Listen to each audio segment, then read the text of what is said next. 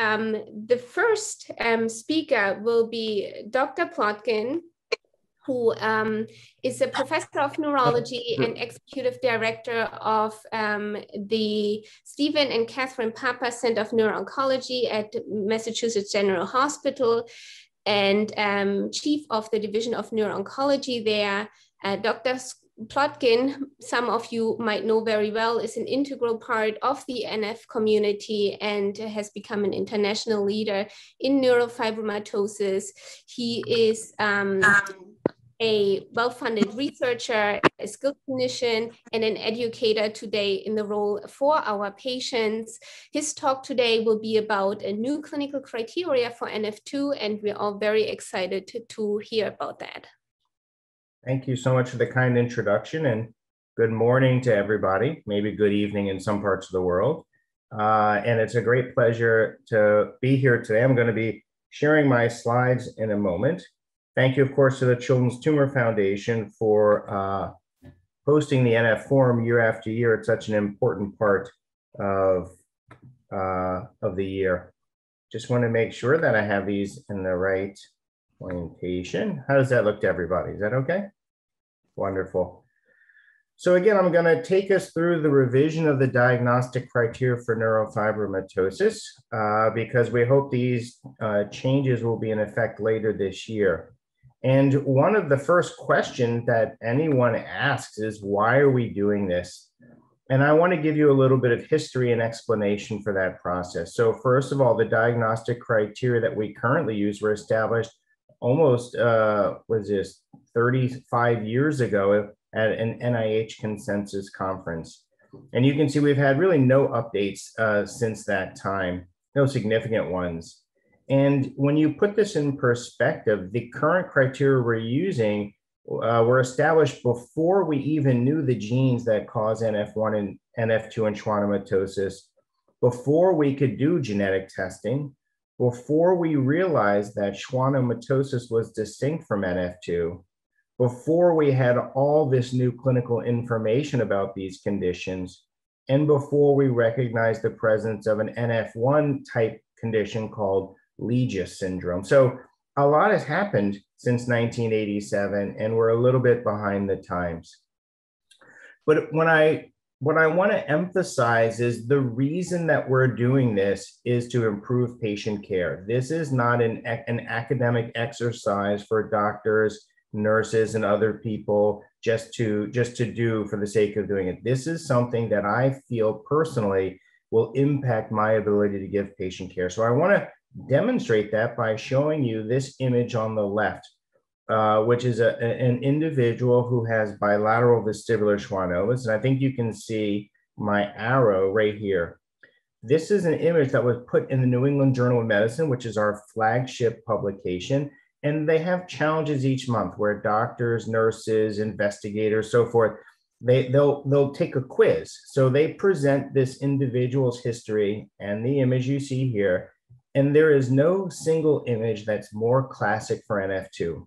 And what you see in the responses below is that uh, this condition called MEN type 1, 7% of people thought it was that, 13% thought it was a condition called von Hippel-Lindau, and then 10% Li-Fraumeni. And what's 50% of people got it right. So I, I would argue that's super low, but but that is the most common response. What I want to show you is that 20% of people, which is twice the rate of the other conditions, thought that this was NF1. And it shows you that doctors and nurses who read the New England Journal of Medicine, our best journal, are likely to confuse NF type 1 and NF type 2. And that is completely unacceptable when it comes to patient care. So, the revision of these diagnostic criteria wants to address this key problem that patients with NF2 and schwannomatosis uh, can be misdiagnosed. So, how did we go about this process? This is the culmination of about almost four years of work. It began with the steering committee and a global panel of 76 experts. We met and developed recommendations for changes in New York City. Uh, and then we sent out these recommendations in a process known as a Delphi process, where you can get feedback from experts around the world on those recommendations. You then take those responses. In round two, you then rec- you, you revise your uh, recommendations. We then did another Delphi round, and this led to us presenting these um, new criteria at the International NF meeting in Paris, France. We then went to a round three where we involved non NF experts. So let's say an expert in genetics who's not an NF physician or an NF nurse, uh, who then gave their recommendations. And finally, we presented these recommendations to many, many patients and family members to try to see whether they made sense. Ultimately, this whole process fed back to the proposals that I'm going to show you today. These are what we call our consensus recommendations. And to give you an idea and to acknowledge the uh, people who were involved on the clinician side for this, I just want to show you more than 100 people from across the world, from across different specialties, have been involved in this process. And without them, we couldn't have got uh, completed this work. Now, I want to begin talking about NF1, which I was told not to do, but I think I want to make the case to you that the reason we're doing this is to differentiate NF1 from NF2 and schwannomatosis. And so we have to begin at least understanding how this relates to all three groups. So I want to dive into the most important change in all of these criteria, and that is how to use genetic testing. So the first thing I want to tell you is you may have heard from your physicians like me or other people about genetic mutations. And I just want to point out medicine evolves and language evolves. We no longer call these changes mutations. Uh, it has a very negative connotation. And it turns out for a variety of reasons, the word mutation does not make sense scientifically either. For that reason, you're going to hear me talk about something called a pathogenic variant in a gene. The word pathogenic means disease causing or condition causing, and a variant means just a change from the typical DNA sequence or gene sequence. So throughout this talk, you'll hear me talk about pathogenic variants. In your brain, you should think, okay, that's what we used to call a mutation. Now, genetic analysis is used in many clinical practices, particularly in Europe, uh, but has not uh, been taken up entirely by the US and some other places. So there is variation in this. However, 95% of our experts uh, supported the use of adding genetic analysis to this criteria for a variety of reasons. Uh, it can lead to earlier diagnosis, give better diagnosis. And we also know that genetic analysis, when performed in the correct uh, scenario, uh, can be highly sensitive for identifying these pathogenic variants I, discuss, I discussed. Now, we also recognize that while genetic testing is incredibly helpful in many circumstances, it's also not universally necess- uh, uh, available. And for that reason, genetic analysis is not required for diagnosis of many conditions, uh, but can be used and is preferable in many. And the final thing I want to point out, and this is going to be an issue moving forward, is that genetic analysis alone is not enough.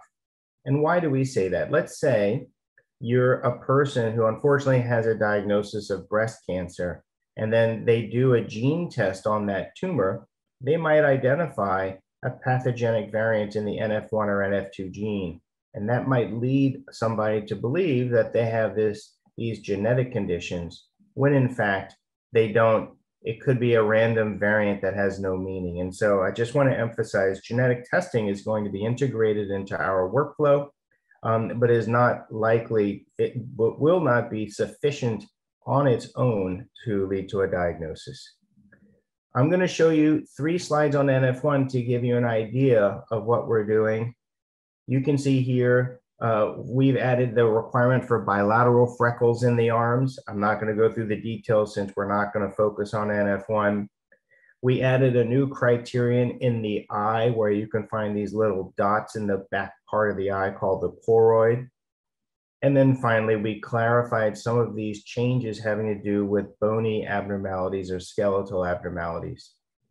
Again, I don't want to uh, spend too much time. I will say to point out that these NF1 revised criteria have now been published in the medical literature and CTF, which has been a partner from the very beginning, uh, has uh, simultaneously uh, put forth information for patients and families to complement that and has a strong outreach program to clinicians.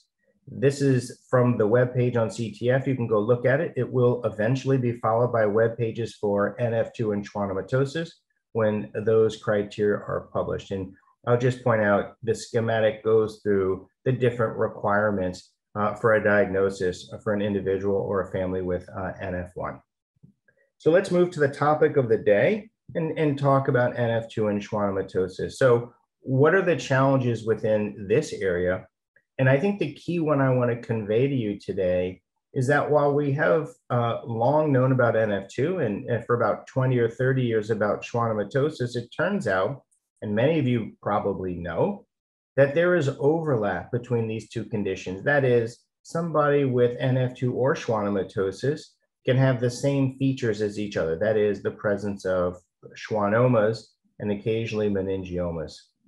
And when you look at the uh, when the Gareth Evans and his team in the United Kingdom looked at their uh, database of families and individuals, they found out that 9% of people that they were diagnosing with schwannomatosis, when they got sophisticated genetic testing, found out that instead of schwannomatosis, they actually had NF2.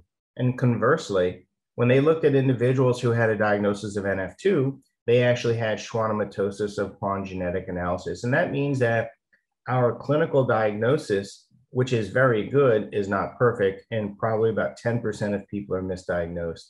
We also know that if you're an older individual diagnosed with NF2, based on the presence of bilateral vestibular schwannomas, that actually may represent not NF2, but a random and very, very unlikely possibility of having two independent tumors that are not caused by NF2. And that's probably, if you're over 50, probably equally likely to having NF2. Other reasons that these criteria, the, the old criteria don't work is we now know high grade glioma does not occur in NF2, nor do neurofibromas. And that raises the key issue with the name of neurofibromatosis type 2. If you don't have neurofibromas in neurofibromatosis type 2, that doesn't make a lot of sense. So how about the schwannomatosis criteria? I already mentioned that some of these individuals actually have NF2. Um, and that one of the key things is we now know that there are more than, that there is more than one genetic variant that can cause schwannomatosis, meaning more than just the SMARCB1 gene. There's also, we now know about the LZTR1 gene, and many investigators are looking for additional genes so we need a, a, system that can accommodate multiple genes and new genes into the, the naming system. So as I mentioned, uh, we have thought about renaming uh, these um, two conditions to, to reflect the data I just presented to you. So what would be the advantage of renaming NF2 and schwannomatosis under a new name? Well, number one is we're going to get this out of the neurofibromatosis uh, name uh, because uh, that creates a lot of confusion, as I showed you in the first slide. We think that it's going to allow us to facilitate clinical care guidelines more appropriately. I already mentioned that neurofibromas don't occur in NF2. We also recognize that these names should reflect that overlap in NF2 and schwannomatosis, where people share many of the same symptoms. Changing the name would allow us to emphasize the genetic diagnosis and leave room for discovery of additional genes. And uh, we think that moving these into the correct categories will be appropriate. Now, the last point I want to make here, and, and only a few of us have been around long enough in this field to remember it. We've changed these names before, and sh it, it should have been 1987 in this slide, not 1997 prior to NF1 having its current name, it was called von Recklinghausen's disease or peripheral neurofibromatosis. And we successfully changed that name to NF1 based on a lot of the work of Vic Riccardi, who is one of our senior and most respected physicians. Likewise, prior to being named NF2, it was called central uh, neurofibromatosis. And, and so names can change, we can do it. So, what are the disadvantages? Obviously, it is very challenging for everyone who lives with the condition of NF2 to think about changing that name. It's difficult for organizations with NF in their names. we always worry that this can impact our funding efforts. We worry that it makes things more and more rare, which can be challenging from a variety of reasons. And some would argue, listen, why are you doing this? We have so much more important things to do. So these are some of the reasons why we thought not to do it. But ultimately, what we're proposing after this four year procedure is that we lump both NF2 and schwannomatosis under the name schwannomatosis. And I'm going to tell you more about this. And the reason is we believe that these conditions are united by the genetic predisposition for schwannoma formation. To further that, we're also going to rec recommend genetic or molecular analysis. And the way we're doing that, we're saying that it is clinically indicated for anyone suspected of having schwannomatosis, except for individuals who present with bilateral vestibular schwannomas, because that's never been reported in, in that's only been reported in NF2 before. And I'll, I'll elaborate on that. Um, so here is how we would think about this broader classification scheme for schwannomatosis. And this is um, built on where genetics is going now. So for example, we're not the only group, uh, uh, we're not the only uh, uh disease group where we're struggling with the naming. And in fact, as genetics becomes more integrated into medicine, there is now a movement within the field to say that you have a gene when you identify a gene variant, and then you put the word related, and then you put the clinical syndrome behind it. So for us, um, this would be NF2 related schwannomatosis. That means it's related to the NF2 gene. Uh, and that's what we previously called NF2. We would also have SMARCB1 related schwannomatosis, LZ1 related schwannomatosis. And in some cases, you could get schwannomatosis without identified mutation in blood. So that is that you can't identify it or otherwise specified. Whoops. So I'm going to go through these now, explain them in a little bit more detail. So uh, when the um, for what we formerly called NF2, uh, we will now basically use much of the same uh, data as before. We look at how many vestibular schwannomas on MRI scan, do we see meningiomas or ependymomas? And then in addition, we allow for uh, the use of these genetic testing results. Uh, and that can help us identify individuals who either have a clinical diagnosis, that is bilateral vestibular schwannomas, or they can have features of schwannomas, meningiomas with a positive genetic test. I will say that I'm not showing you the complicated schema that the nurses and the doctors will use right now, because it is it is quite complex uh, uh, if you're not working in the field all the time. But there is a flow chart that allows us to arrive at the diagnosis uh, of NF2.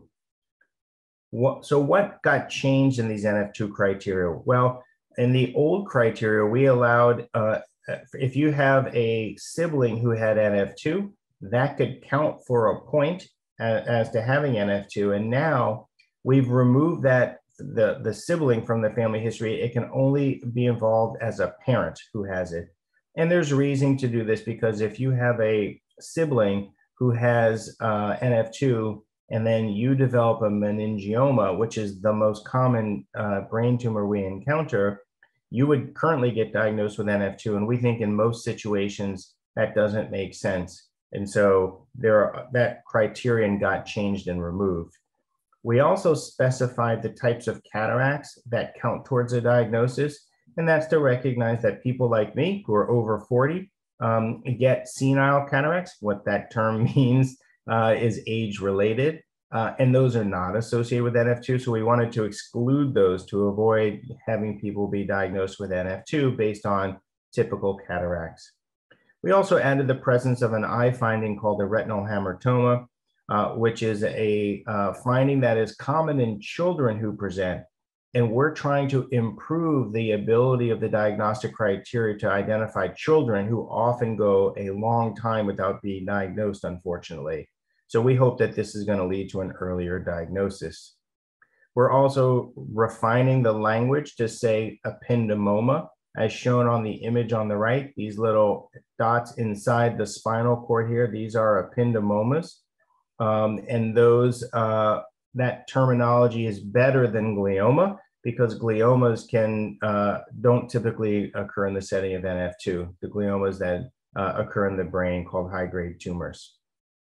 Most importantly, we've removed neurofibroma from the criteria because they don't occur in the setting of NF2. Most patients tell me, that's crazy, Scott. I was diagnosed with neurofibromas when I was young. And, I, and that is true because a lot of pathologists didn't recognize this difference and, and made mistakes. And so by clarifying this criterion, we hope to improve clinical care and to challenge those pathologists who are diagnosing neurofibromas in the setting of NF2 because it doesn't happen. I'm going to move on now to schwannomatosis. And to be clear, what I'm talking about is our current uh, diagnosis of schwannomatosis. Uh, and right now, we don't really have a term uh, for what I'm going to go with these genetic subtypes, but in the future, we'll have SMARCB1 related schwannomatosis. Uh, that is uh, schwannomatosis with pathogenic variants in the SMARCB1 gene. LZTR1 related schwannomatosis, chromosome 22q related schwannomatosis. Uh, and, uh, and what this shows you is that um, this uh, genetic testing will be important to have both in the blood, which is straightforward, but if possible, also on tumors. And so we're going to have to engage in a lot of education for surgeons to make sure that they save these tumors for genetic analysis for patients, for those who don't have diagnoses, because these tumors represent the most important source uh, of tissue to identify pathogenic variants. I'll just say, uh, and one other point I'll make just in the last few moments is just to emphasize many of us are spending a lot of time understanding what's the difference between SMARCB1 related schwannomatosis and LZTR1 related schwannomatosis? Why do we care? And I would argue that in the next 10 to 15 years, maybe sooner, we're going to learn more about what condition, what, what happens to individuals with these different forms of schwannomatosis. Do they have different risks, whether it's a different risk for chronic pain, a different risk for tumor types, uh, that'll be important information that we hope to collect as we establish these diagnostic criteria. Finally, we recognize that some individuals either may not get genetic testing or the genetic testing may not be informative. And in those individuals, uh, we're going to use the term schwannomatosis NOS, with, which stands for not otherwise specified. Uh, and in this case, uh, it, it, it, can be uh, um, diagnosed based on the presence of two or more uh, lesions uh, that are consistent with schwannomas, and at least one has to be pathologically confirmed. So we're not going to leave anybody out with these revised criteria. If you can't get genetic testing, it's okay. And you, those individuals would be schwannomatosis NOS. So here's my last slide just to say this is about improving clinical care and where we see this going is in our field, you'll either have a diagnosis of neurofibromatosis or schwannomatosis. And we think that that basic cl clarification will improve the care of, of patients because no longer can we use the word just neurofibromatosis to mean all three forms of NF. And with that, I want to particularly thank the Children's Tumor Foundation, who has supported this work, as well as Patrice Panza, who I'm not sure is on right now, um, but uh, has been totally uh, important um, uh, in making this happen. All the participants of the Delphi, as well as the community and the foundations for helping out. So thank you very much. And I'm happy to answer some questions whenever the time is right. Great. Um, thank you, Scott. Uh, this was an excellent uh, talk. And while we're waiting for more questions to come in, we have already a few in the chat, and I will just start with uh, the first question, which is like, will the reclassification impact research funding? You touched on a little bit on this at the beginning, but maybe you could elaborate a little bit. That's a great question, uh, very uh, an, an important one. So um, of course, I'm not a funder, so I'll start off by that. I can tell you that we have presented this and vetted this with the Department of Defense Neurofibromatosis Research Program, which has provided, I believe, over $300 million for NF research since 1980, 1996. So for sure, they have said that this reclassification will not affect their uh, their um, funding, uh, although it may modify it in the sense that they may use this classification in deciding how to allocate their funding. But they're they have reassured us, and we wouldn't have proceeded if we thought this would endanger funding. So I think the answer to that is no. Will it change anything from foundations? Well, we hope not. I know CTF is on board, uh, and other foundations have not, not indicated to us that it would affect funding. So we hope the answer is no. Okay, great. Thank you. And um, how do you think the new classification would affect um, potential clinical trials that are coming up in drugs? Yeah, um, that's a that's a great question. I don't see a, a, a, change necessarily in the clinical trials. I do hope that by having more genetic information, it will mm-hmm. allow us to better understand maybe a drug A works better in type of person B uh, or with a certain genetic variant. I think, uh, uh, as people probably know, that you, Dr. Stadke, are looking at gene therapy um, and the more we know about genetics, the more it's going to help our clinical trials, including gene therapy in the future. So I hope it's good, not bad. Yeah, I, I, I would agree with that. I think the more specific information would help us to um, look at uh, effects of drug better. There is uh, one other question, which is um, uh, uh, related to the topic, which is like asking about the connection between NF2 and ring chromosome 22. Mm-hmm. Um, if if that would meet a clinical, if that would meet the criteria. Who is this? But this is a great question. I just I'm so impressed. With, that's got to be Gareth Evans. That has to be. No, Gareth. no, no. It's not. It's, it's not. not. Okay, it's so not it's um it's like a Kat Valcour Pierce, and she's probably also in the forum here. Well, I'm so happy. It's a great question. Yeah. So just, just to bring people up to speed, a ring chromosome is a type of genetic alteration where DNA forms a ring. And when it happens on chromosome 22, it can cause a disruption in the NF2 gene. So this is really important information. And you are 100% uh, correct that we needed to add information about ring chromosome 22 into these criteria. Um, it, it won't change the criteria. It just reminds people that if you can't find the, the, gen, the genetic change on typical testing, about 1% to 2% of individual, individuals can have this ring chromosome, and that should not be omitted from testing. One thing I didn't talk about, I'll say in one second, is we're going to need to work with our genetic testing facilities around the United States to improve the kind of genetic testing that our families and patients get. And that's, that'll be an ongoing effort for us all. Great question. Awesome. Awesome.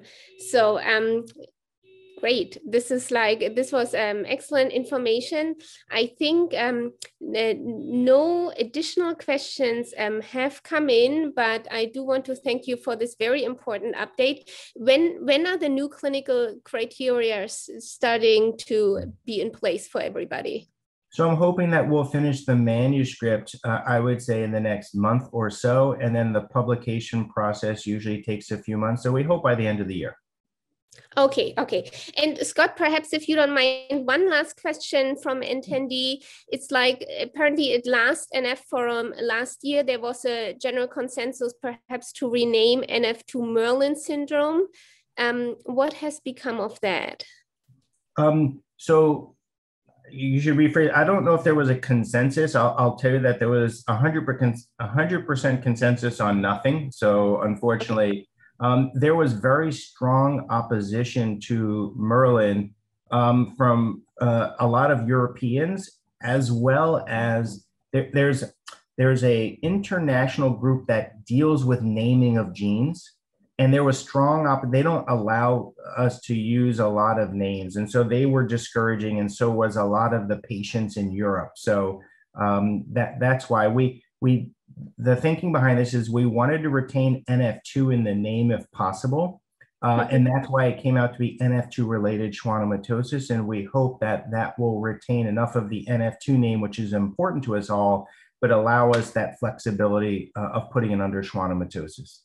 Great, great. None of these are perfect. We know that, unfortunately. Right.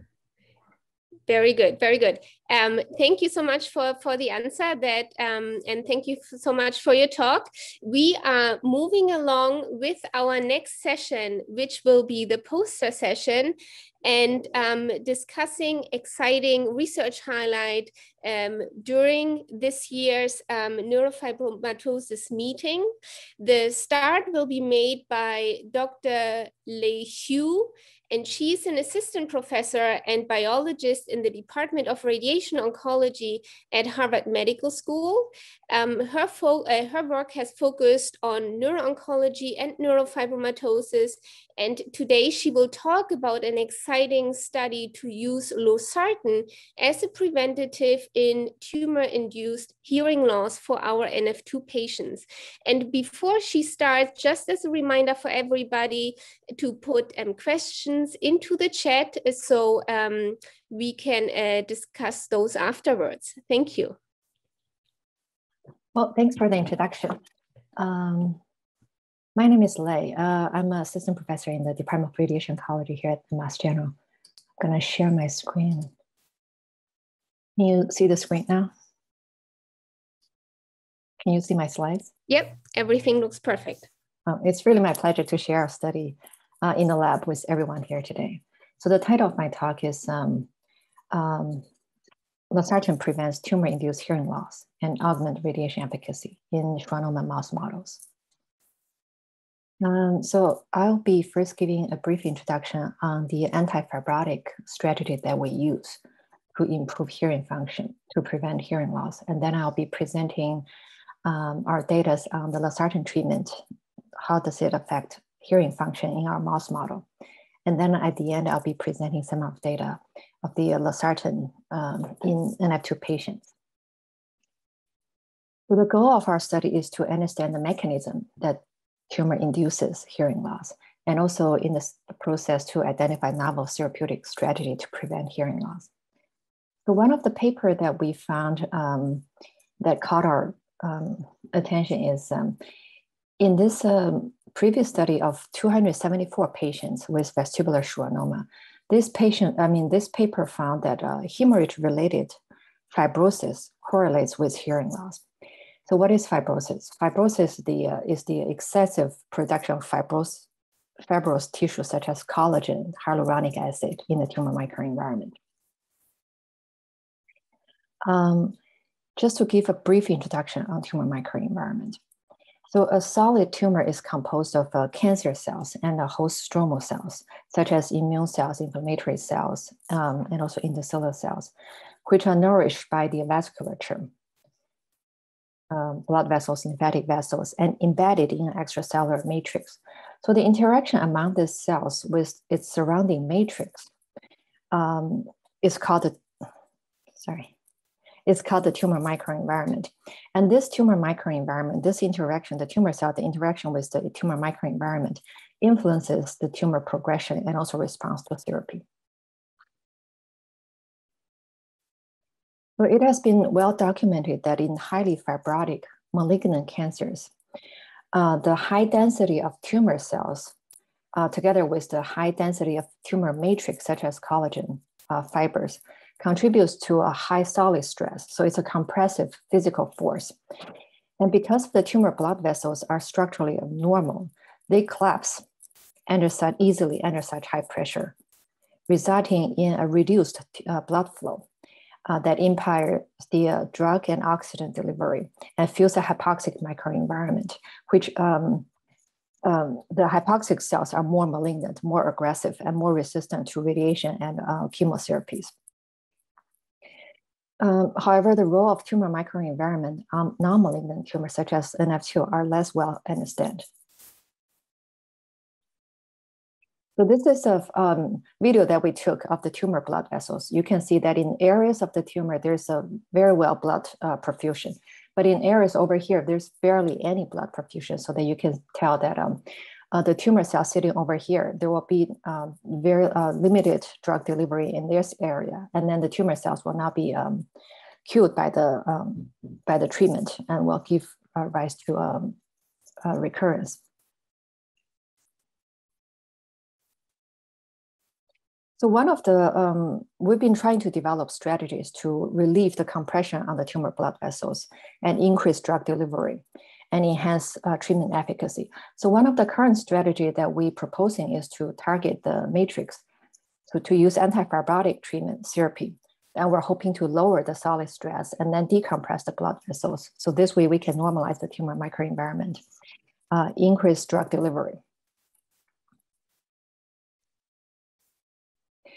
One of the drugs that can reduce the matrix content is called losartan. So it is an FDA-approved antihypertensive that blocks angiotensin signaling. So angiotensin was initially discovered as, as a hormone that controls blood pressure and body fluid homeostasis. Uh, so losartan blocks the angiotensin binding to its um, receptor. And then uh, it's known that losartan blocks the uh, fibrogenic signaling, reducing the synthesis of collagen. Uh, so collagen is the major um, uh, collagen um, uh, uh, extracellular matrix molecules in the tumor microenvironment.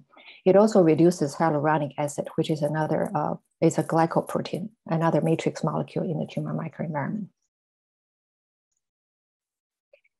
So the first thing that we, uh, the first experiment that we did is that we collected some human vestibular schwannoma tumor, tumor samples, and then we confirmed in our sample the matrix molecules such as collagen 1 and hyaluronic acids, which are uh, stained in red and also in green in these uh, images here, they are abundantly expressed in schwannomas.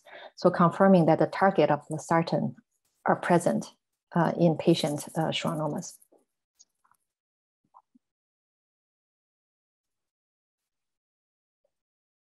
So next, to reproduce the uh, tumor-induced hearing in, in mouse models, we established a uh, cerebellum pontine mouse model. So we injected tumor cells into the brain, uh, into the cerebellum pontine angle, so where the hearing nerve enters the, the ear. So this is an MRI imaging showing the tumor formation in the mouse brain.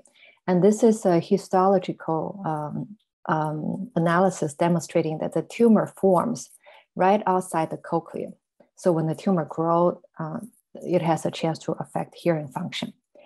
And then with this model, we can test hearing function the same way that we test hearing function in patients that we put electrodes and then we measure the uh, hearing um, function. Uh, so using the mouse model, uh, we treated the mouse model with losartan. And then we found that with losartan treatment, the collagen 1 and hyaluronic acid uh, showing in red and also in uh, green on this pattern over here. With losartan treatment, it's significantly reduced. So next, we evaluated the effects of losartan on, hear on hearing function. Um, so the mice was implanted with, with tumor cells. And then after seven days, when the tumor is confirmed, uh, we started losartan treatment by the daily oral uh, treatment. And then uh, around 21 days, we tested hearing function. So the bottom panel here shows the hearing function in those mice. So the lower the curve indicates the better the hearing. So the green line here shows uh, the hearing in non-tumor bearing mice. So this is the normal hearing um, range. And then with tumor implanted growing in the, in the uh, CPA area, so the mice loses their hearing. So this is shown by elevation of the curve. And then with losartan treatment shown in the pink curve here. So it, it restored the hearing function to the same level as the normal non-tumor bearing animals.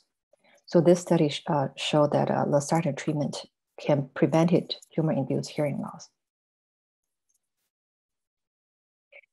And then uh, we did a um, so in using the NF2 model, we, we did a comprehensive characterization of the molecular mechanisms of how the losartan works. Um, just to summarize um, our findings. So in the mouse model, we found that losartan treatment reduces the collagen uh, and hyaluronic uh, matrix and normalize the tumor microenvironment. So with it, when the tumor microenvironment is normalized, the inflammatory response is reduced. Um, so this way it improved hearing function. And then by normalizing the tumor vasculature, so losartan treatment reduces the nerve edema. So that's another possible mechanism that improves hearing function in the mouse model. And also, I, I didn't, I'm not showing the data here. So with increased, uh, with better blood perfusion, there's increased oxygen delivery. And oxygen is a very efficient um, radiation sensitizer. So we found that radiation efficacy is improved by the combined losartan treatments. So this way we can reduce the radiation dose necessary um, to uh, control tumor growth.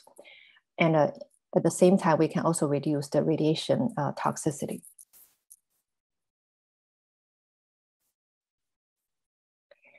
Uh, so then to prepare the, uh, for the translation of our study to the clinic, my collaborator, Dr. Stankovic's group at Mass Eye and Ear, they performed a series of retrospective analysis. So um, they selected a, a, group of patients um, with vestibular schwannoma, but at the same time, they also have hypertension. And then this patients has been treated at Mass Eye and Ear uh, during this period of time. So they choose patient that has normal hearing, baseline hearing at the time of diagnosis. So of these patients, seven of them um, were either already taking losartan or, or the losartan type of uh, antihypertensives. And then um, 30 of them were taking other types of uh, antihypertensives, such as, such as a beta blocker, and eight of them were not taking any uh, antihypertensives. So they um, performed, um, they correlated, um, they, they, studied hearing loss using the Kaplan-Meier uh, curve. So with every um, stairs down, that indicates a portion of the patients has lost their hearing function. Uh, so with this um, uh, study, they found that um, in patients taking losartan ARB, angiotensin receptor blocker, showing in red line here. So zero patients taking the uh, ARB therapy showed any changes in hearing over the course of the follow-up. Whereas the um, both the threshold of hearing function and also the word recognition when in those patients that are taking other type of antihypertensives, they deteriorate over time.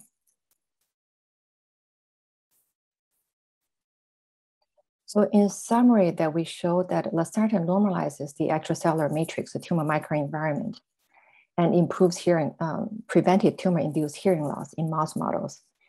And in patient samples, we found that patients receiving angiotensin receptor blockers have no progression in vestibular schwannoma induced hearing loss compared with patients on other types of uh, antihypertensives. So with that, I would like to thank my groups in the Mass General um, Radiation um, Oncology Lab, and also my collaborator, Dr. Stankovic's lab in the uh, Mass year, and also Dr. Plotkin and uh, Anat Stemmer, um, from the uh, neuropathology department at uh, Mass General. Thank you.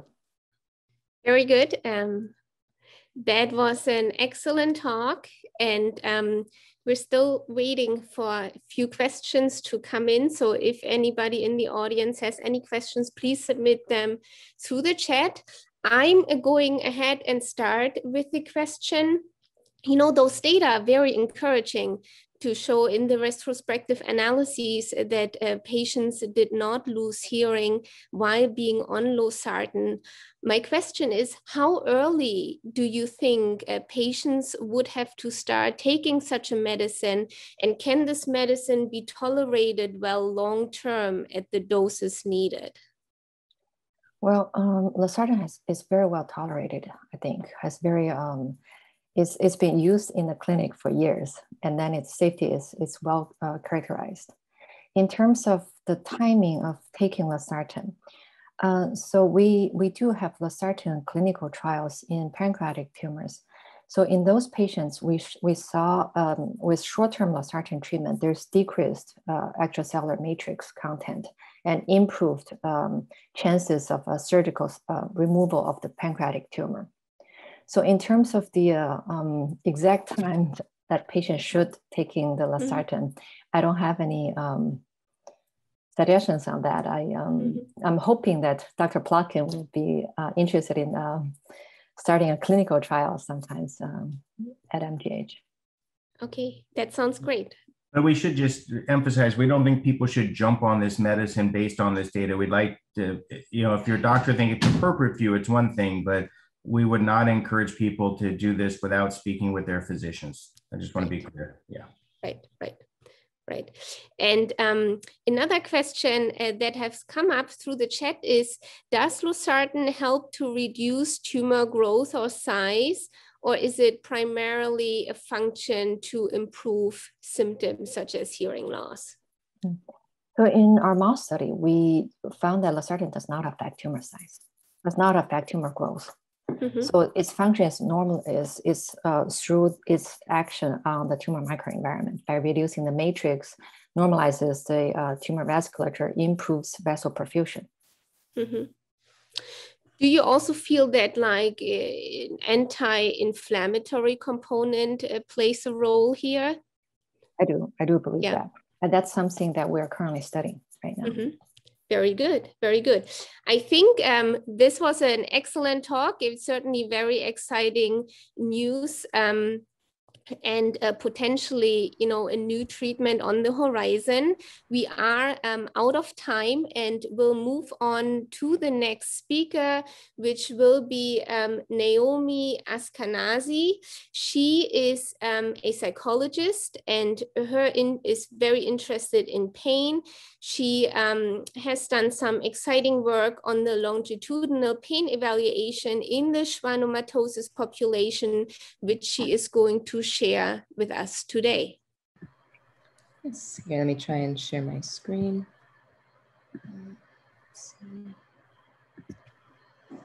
Perfect. Here we go. Uh, can you guys see this? Yep, all is great. Okay.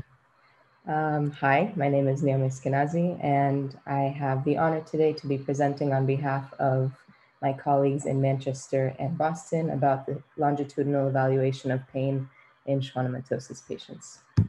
Okay, that's weird. Hmm. Okay, I have no disclosures report. So before we start, it is important to note that patients with schwannomatosis are prone to chronic pain. So this is the most common symptom and is um, debilitating and detrimental to physical and mental health.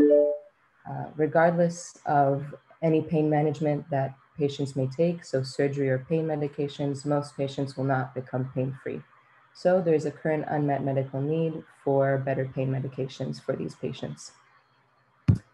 So we had two main aims in the study. Uh, the first was to collect and analyze data on pain experience and pain-related outcomes. So they are the following pain intensity or severity of the pain, pain interference, so impact of pain on a person's daily life, pain self efficacy, so confidence to achieve daily goals despite pain, and psychosocial impact, so things like anxiety and depression. Uh, the second goal is to be able to inform clinical trial design for schwannomatosis related pain. So by better understanding what a patient's pain with, with schwannomatosis looks like, we will be able to deem whether a um, clinical trial drug has been effective or not. So if we understand what uh, normal schwannomatosis pain looks like, we can see whether it has been improved in a clinical trial. Uh, the recruitment part of this study was done through the International Schwannomatosis Registry, which is a database of patients who are willing to participate in studies like these. Uh, we recruited 79 adult patients through Mass General, New York University, Johns Hopkins and University of Manchester, and this all began in November 2015. Uh, patients were sent online questionnaires every six months for up to five years. These questionnaires are broken into two parts. The first covers demographic and clinical information. So this is things like age, race, gender, familial inheritance of schwannomatosis, as well as the type of drugs they may be taking. So opioids, neuropathic meds, or anti-inflammatory drugs and then any kind of schwannomatosis related surgeries. Uh, the second half of this questionnaire um, covers patient reported pain related outcomes. So these are things, these are questionnaires that ask you to rank things like worst pain intensity, pain quality, pain self-efficacy, physical functioning, anxiety, depression, sorry, and pain interference. Um, in the ranking, the higher, the higher you score means the more of that quality you have. So if you rank higher in worst pain intensity, the more severe your pain is. If you rank higher in physical functioning, the better your function is. So in order to analyze the data that we collected from these questionnaires, we had to first define the clinically meaningful change. So this is what difference or what value in scores would be considered to be impactful in a patient's life. So based on previously published literature, we decided to use a difference of two or more in pain intensity and pain self-efficacy and a difference of five or more in PROMIS measures. So um, just to give an example, if a patient had a score of two at time point one and then a pain intensity score of five at time point two, they would have been considered to have a clinically meaningful change because they had a difference of two or more between the two time points. Uh, we also used um, correlations to, uh, we studied the correlations between pain intensity and other outcome measures. Uh, at baseline, there were 79 participants, 58% of which were female, with a minimum age of 30 and a maximum age of 78 and an average of 51. 77% uh, of patients were using pain medication, a couple of which were taking more than one medication at a time. Um, on the right here is a table of the measurements and the average at baseline. So as you can see, all these numbers are about uh, average or about midpoint of, of uh, what we had expected, except for pain interference, which is about six higher than the US population score of 50. Um, here is a box plot which shows the pain intensity scores at each interval by time in months. So time in months is on the x-axis or the interval, and the pain score is on the y, where the higher you are, the more pain you are in. Uh, here is the number of patients who have participated in each of the time points. The red diamonds and the blue dashes represent means and medians respectively. And as we can see, the means and medians stay relatively stable throughout the entire trial. Uh, this doesn't account for individual scores, which as you can see here, fluctuate a lot. A lot. So there are um, patients who have pain intensity scores that range from one all the way to 10 and back down to three, and they would definitely be considered to have a clinically meaningful change. Uh, here there are two patients who don't have as much fluctuation and yet would still be considered to have a clinically meaningful change um, with the standard that we had set before.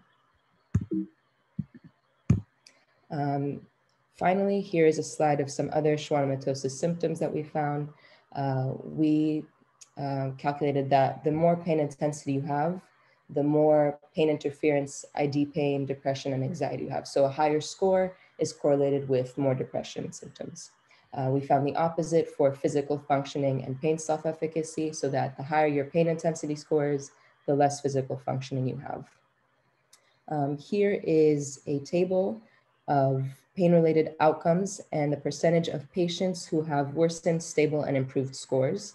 And as you can see from the amount of green bar in each of these pain-related outcomes, the majority of patients are stable at one year. In conclusion, pain severely affects the physical and mental health of people with schwannomatosis, and regardless of pain management, pain intensity tends to remain high. Uh, over time, group averages for pain intensity stay stable, but individual scores fluctuate. Um, this information is currently being used for the first trial for schwannomatosis related pain, which Jennifer Da will be presenting about next. Uh, finally, I'd like to thank all my colleagues at Mass General and University of Manchester, as well as the Tumor Foundation. Uh, big thank you to all the participants for taking the time to answer all the questionnaires. And also big thank you to Vanessa Merker, Jennifer Da, and Scott Plotkin for helping me and all their mentorship.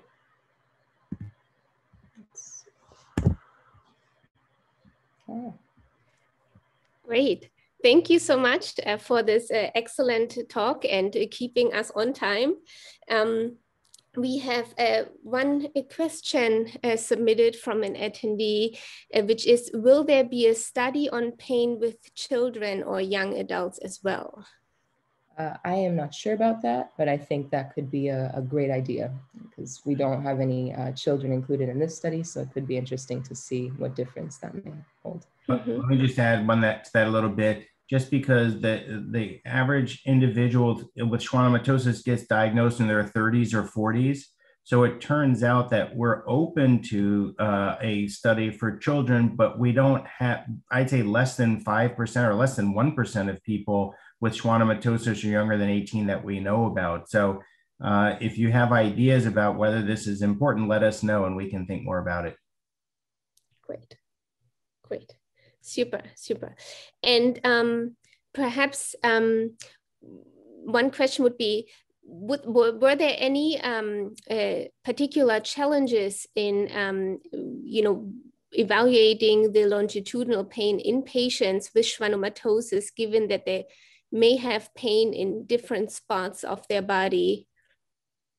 Um, yeah, well, this uh, the questionnaires that were asked um, only asked about uh, worst pain intensity in the past week.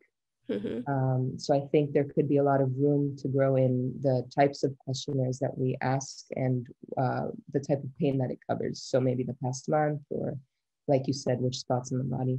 Mm-hmm. And are there any plans to kind of do those studies as well? Uh, I am not sure about that at the moment. Okay, okay, perfect. And if a patient would be interested participating in uh, such studies, who, who would they, how, how would they know about these studies? Uh, I say. Uh, let, let, me take that one if you don't mind, just because it's through the International Schwannomatosis Registry. So that's something mm-hmm. run out of Johns Hopkins. That's so you, you can look that up. And then also you can contact Naomi or the rest of our team uh, to, and we can help you with that. But um, there are restrictions on how we can do it. But thank you for the interest if, if for those who are interested. Great, super, very good. Then um, we're moving on to our last research talk of the day, which um, is also coming um, from Boston. This is a Boston a, focused um, session as it appears. The next speaker will be uh, Jennifer Da. She is a research coordinator at Mass General, working very closely with uh, Dr. Scott Plotkin, who we have heard earlier. Um, she will be presenting their results on the efficacy and safety of a new drug called tanezumab in patients with moderate to severe schwannomatosis-related pain. Take it away. Thank you. So good afternoon, everyone. Today I will be introducing a phase two trial for schwannomatosis related pain on behalf of my team members at Mass General, the National Cancer Institute, and Pfizer. I have no disclosures. Um, Pfizer has provided support and study drug. So as everyone here knows, chronic pain is a common symptom of schwannomatosis and as we have just seen from Naomi Ashkenazi's presentation, currently available pain medications are often ineffective at treating this pain. So there is a clear need for new pain medications that can effectively treat pain in schwannomatosis. When designing clinical trials for schwannomatosis related pain, there are several unique challenges that must be considered. The rarity of schwannomatosis makes it challenging to recruit enough patients to participate in the study, the natural fluctuations in pain intensity that patients experience over time can make it difficult to measure the effectiveness of a pain medication. Randomized control trials are considered the gold standard of clinical trial design. In this type of trial, some patients will be randomly selected to receive placebo. Um, however, but we must balance the desire for optimal trial design with ethical considerations given the lack of effective treatment options. So the study I will be introducing today is the first therapeutic trial in schwannomatosis related pain and attempts to address these challenges. So as we just saw in the last presentation, schwannomatosis patients report taking many types of pain medications, including nonsteroidal anti-inflammatory drugs like ibuprofen, neuropathic pain medications like Lyrica, um, and opioids. Many patients report taking a combination of these medications with limited relief. This limited efficacy, coupled with the increasing stigma around opioid, opioid use in the US, present a need for novel non opioid therapies. Nerve growth factor is um, a molecule in the body that generates pain. And we hypothesize that it also plays an important role in schwannomatosis related pain. Tanezumab is an unapproved drug that inhibits or blocks NGF. Its safety and efficacy has been studied across multiple types of pain thus far. In this phase two trial, we will be investigating the safety and efficacy of tanezumab in treating schwannomatosis related pain. The study is open to enrollment at Massachusetts General Hospital with a goal of enrolling 46 participants. So to address the challenges and ethical considerations mentioned earlier regarding trial design, the study is divided into two phases. In the first phase, which is the double-blind treatment phase, Participants will be randomly selected to receive either tanezumab or placebo. Both the study team and participant will be blinded, so no one will know, um, you know, whether the participant received tanezumab or placebo in this phase. Subsequently, during the single arm treatment phase, everyone will receive tanezumab. To help improve recruitment and cut down on the logistical burdens of participating, the use of telemedicine has also been incorporated into this study. To be eligible for this study, participants must have a diagnosis of schwannomatosis, be at least 18 years old, and have moderate to severe schwannomatosis related pain despite taking pain medications. Diagnosis of osteoarthritis, having symptoms um, or problematic dizziness, blood pressure problems, um, or abnormal heart rhythm, or an inability to discontinue use of the nonsteroidal anti-inflammatory drugs may make someone ineligible to participate. And just a note here that participants will generally be able to take all other types of pain medications while on the study aside from the NSAIDs.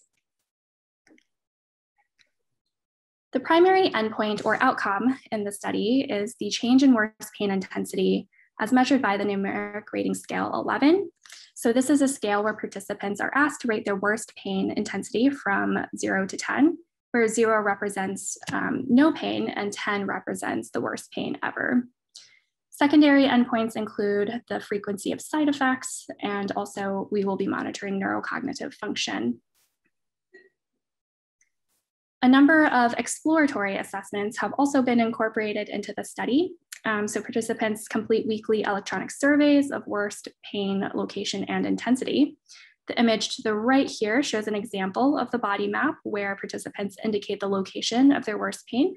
So just a moment here, I will play a reel with some illustrative data. Um, so here I go. So you can see this reel is meant to give everyone an example of how the location of worst pain could evolve over time and the type of data that we're hoping to capture in this study.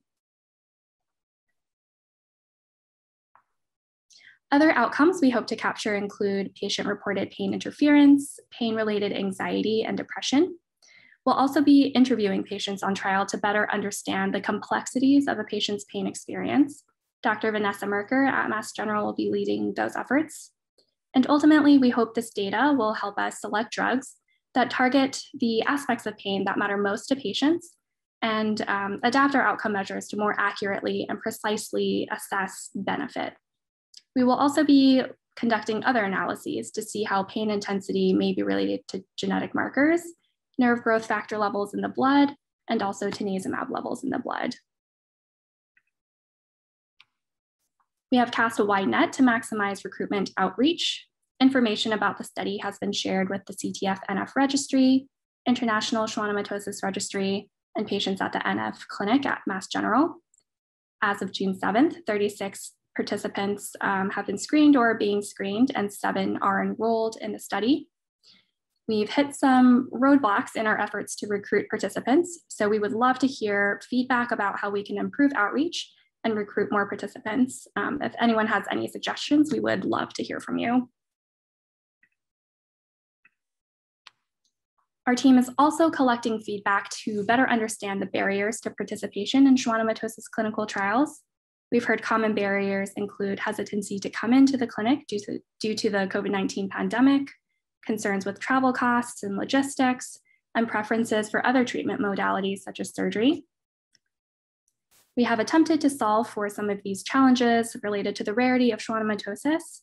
So the Children's Tumor Foundation has generously offered to cover a portion of travel costs for participants in this trial.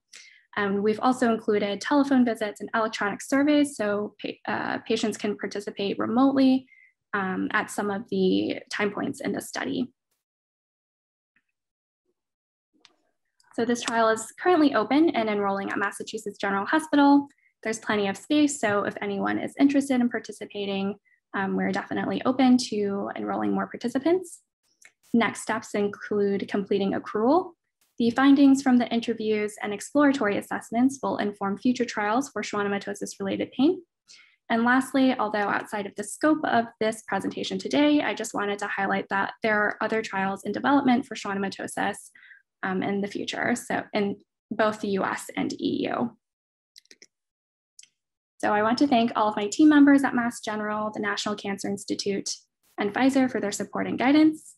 I would like to particularly thank Dr. Plotkin and Dr. Merker for their mentorship.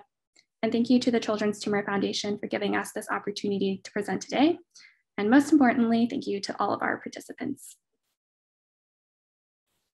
Very good. Thank you so much. Um, this was another excellent talk um, and um, a perfect ending to our uh, three research topics. Um, we are still waiting for questions in the chat, but um, let me start by asking you, um, what is, you know, you mentioned the patient uh, recruitment issue. What is the, the minimum age of, of patients that are recruited for the study? Sure. So the minimum age is 18. Mm-hmm. Okay. Okay. Very good.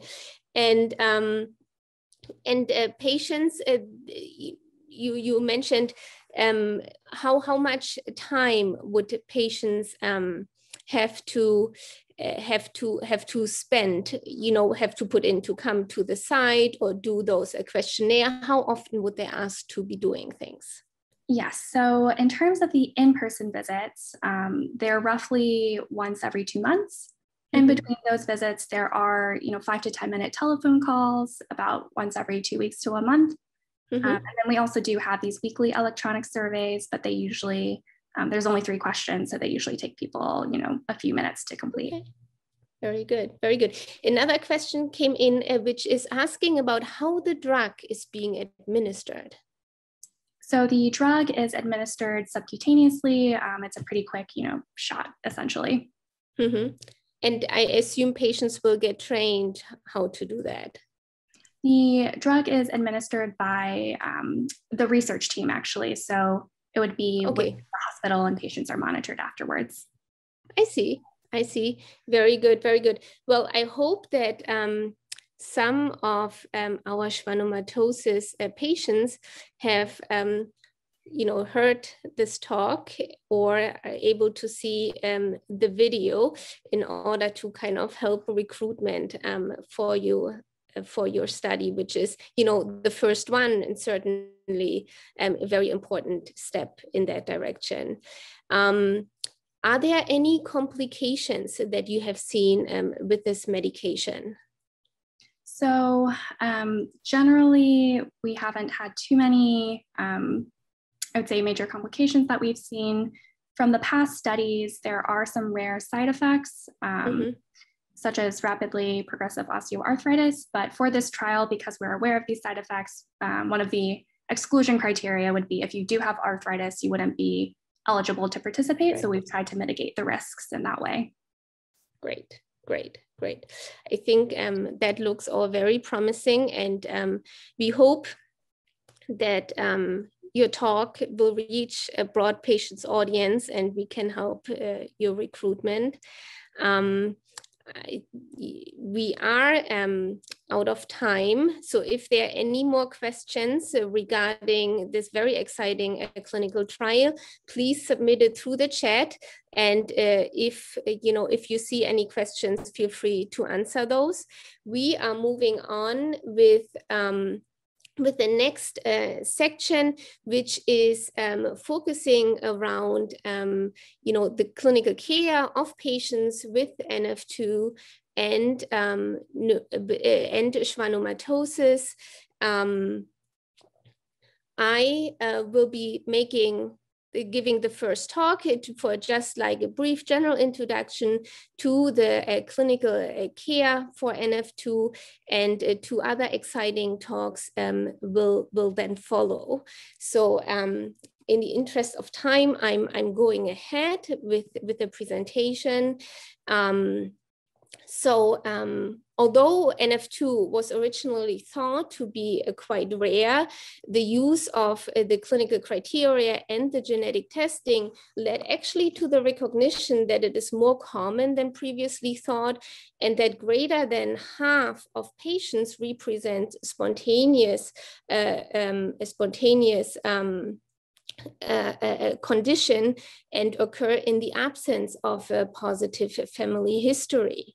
Uh, patients typically present around uh, 20 years of age. Initial or presenting symptoms can vary very much.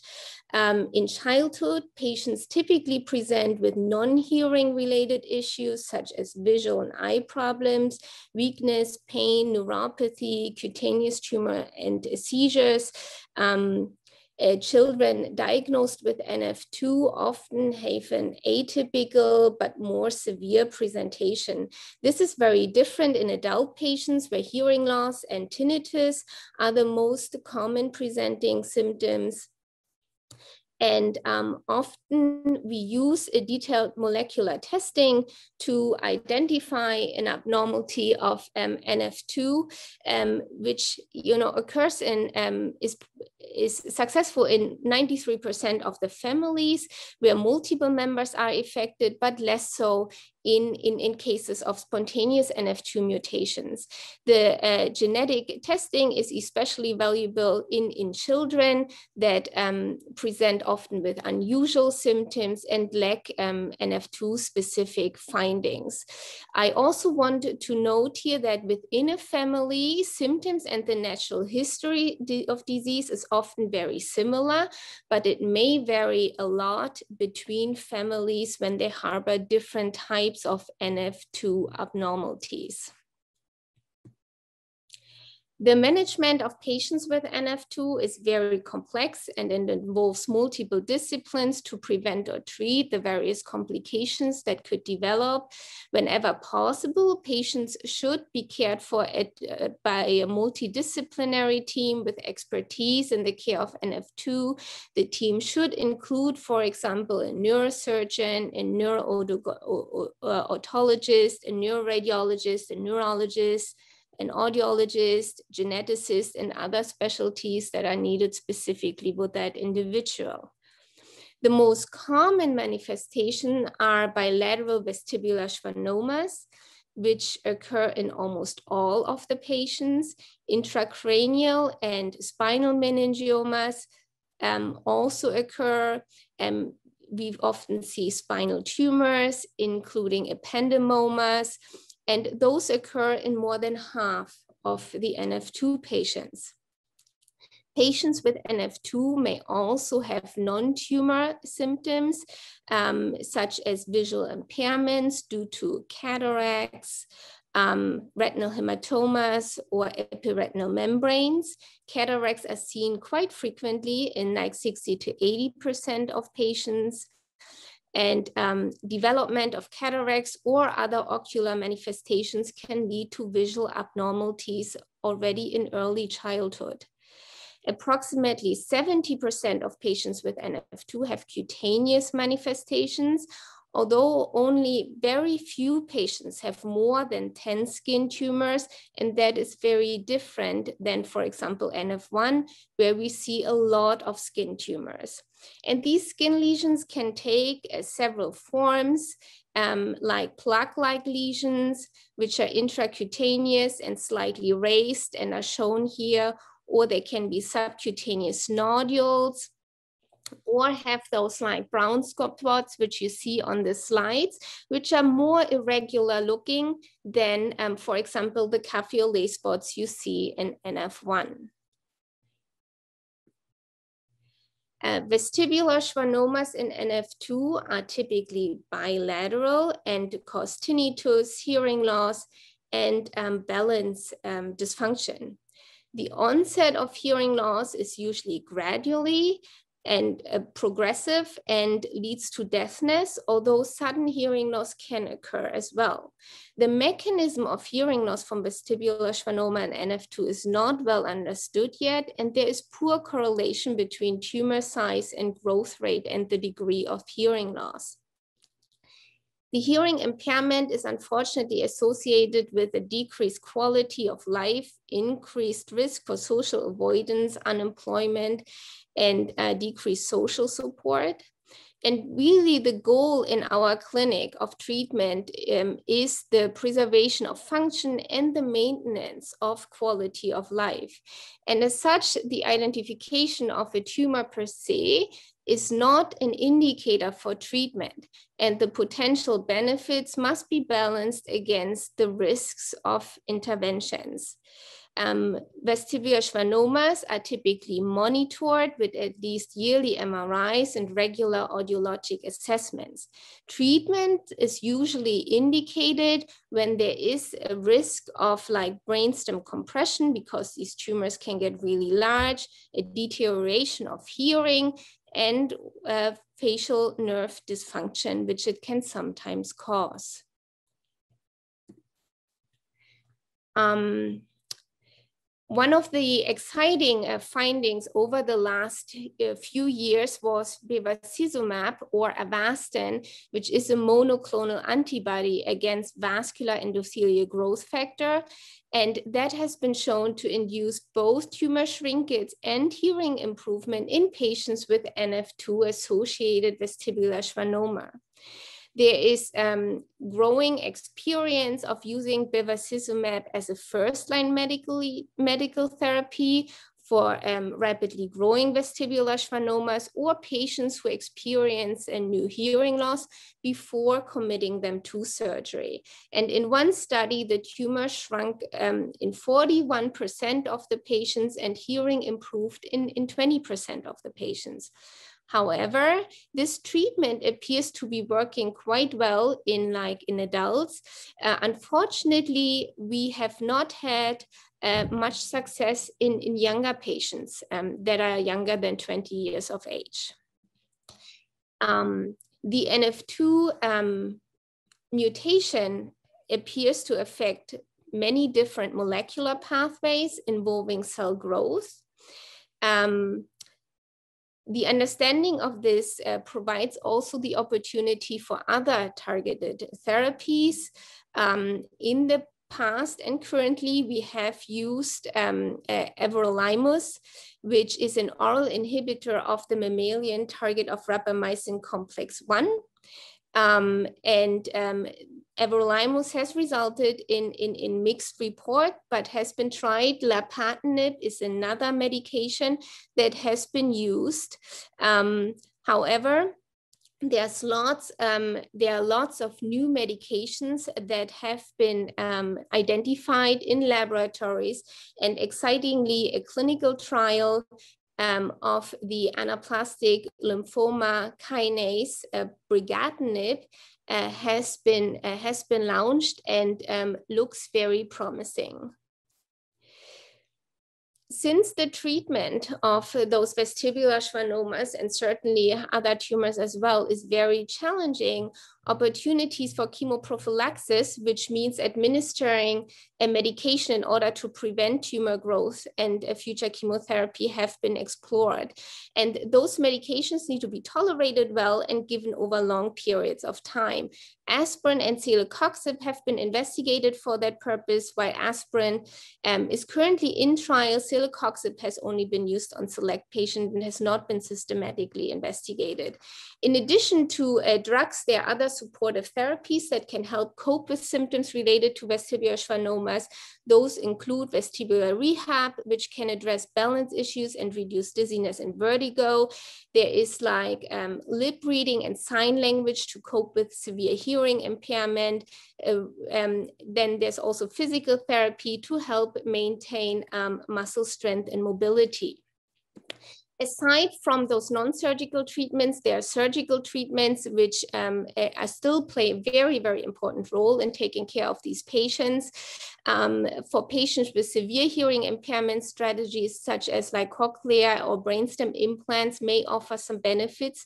The role of radiation in those tumors is unclear, mainly due to the fact, uh, in part also due to the fact that there is a concern for a secondary malignancy uh, due to the underlying um, um, uh, genetic change in, in NF2. So um, the next tumor I quickly want to talk about are uh, meningiomas, which occur also in about half of the patients. Usually they are often they are multiple. They can, um, the incidence can increase with age and most meningiomas uh, are uh, intracranial. Some of them can also um, present um, uh, in the spine. And uh, frequently children are diagnosed with that during childhood and about 20% of children that have them in childhood end up being diagnosed with NF2 at some point later on. Often these meningiomas can grow to a certain size and then stop.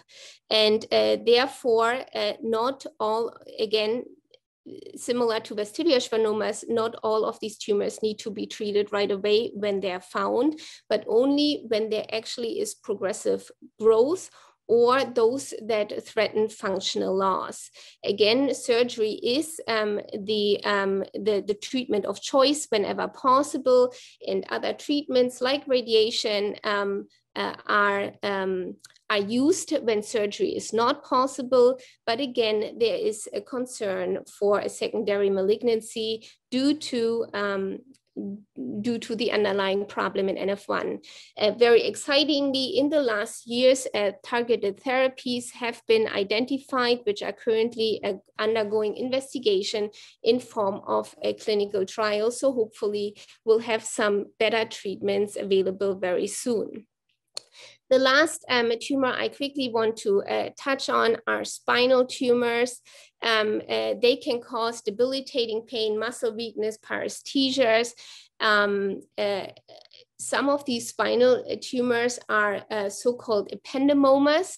They are uh, often found in screening imaging studies and usually grow very slowly uh, without symptoms for long periods of time. And therefore careful neurologic surveillance for evidence of progression is indicated. And uh, if um, um, if treatment is needed, uh, usually um, surgical resection is, um, is, is treatment of choice. There's also some evidence that cystic elements of these tumors may respond well to um, bevacizumab because of the occurrence of all these different uh, lesions and symptoms, um, patients are recommended to undergo tumor surveillance uh, regularly, and this includes a list of um, uh, uh, several non-invasive exams, which I have listed here, such as uh, annual history, neurologic exam, cutaneous exam, the eye exam, and regular uh, testing of the hearing capability. Um, in addition to that, um, annual brain imaging um, is conducted in patients uh, older than 10 years old. And um, if imaging does not show any involvement, we typically screen patients every two years. If tumors are detected, we follow them closely um, as needed. Uh, similarly, we um, image the spine uh, in, in children starting from the age of 10 um, and similarly to the brain, if tumors, if node involvement is detected, we, um, uh, we, we follow up with imaging every two to five years. If tumors are detected, we um, perform imaging as needed, but typically uh, twice um, yearly for the first year and then annually. Some centers do use whole body MRIs um, including um, the brain and spine uh, for surveillance, which gives the um, advantage of um, characterizing uh, different tumors in different areas of the body with just one exam. Um, you know, overall, uh, because um, vestibular schwannomas are on both sides, lots of patients become um, deaf. And because of the poor balance these patients have, uh, visual problems, often like muscle weakness, a lot of them are wheelchair bound in early adulthood. And um, however, with, um, with the improvement um, of, um, of, of, of therapy, uh, patients do much better these days uh, than, than, than uh, 40 years ago. In the 1980s, the average patient age was uh, in, in their 30s. Uh, these days, um, patients do um, do much much better um, uh, it, it, because of the advances in treatments that have been made and we ho hopefully continue to make the diagnosis even earlier and continue to advance uh, treatments to um, Im further improve outcomes. And then last but not least, I just quickly want to mention that there is a screening also available for families, uh, for family members of uh, patients that have been um, diagnosed uh, with NF2. Uh, this usually includes uh, the screening of first degree family members. And how do we screen? We screen with genetic testing or screening MRIs of the brain and spine as the genetic testing is not 100%. Um, so this, um, I think I'm out of time. This um, uh, um, uh, concludes um, the brief overview of um, the care of patients um, with NF2 and I uh, welcome any questions.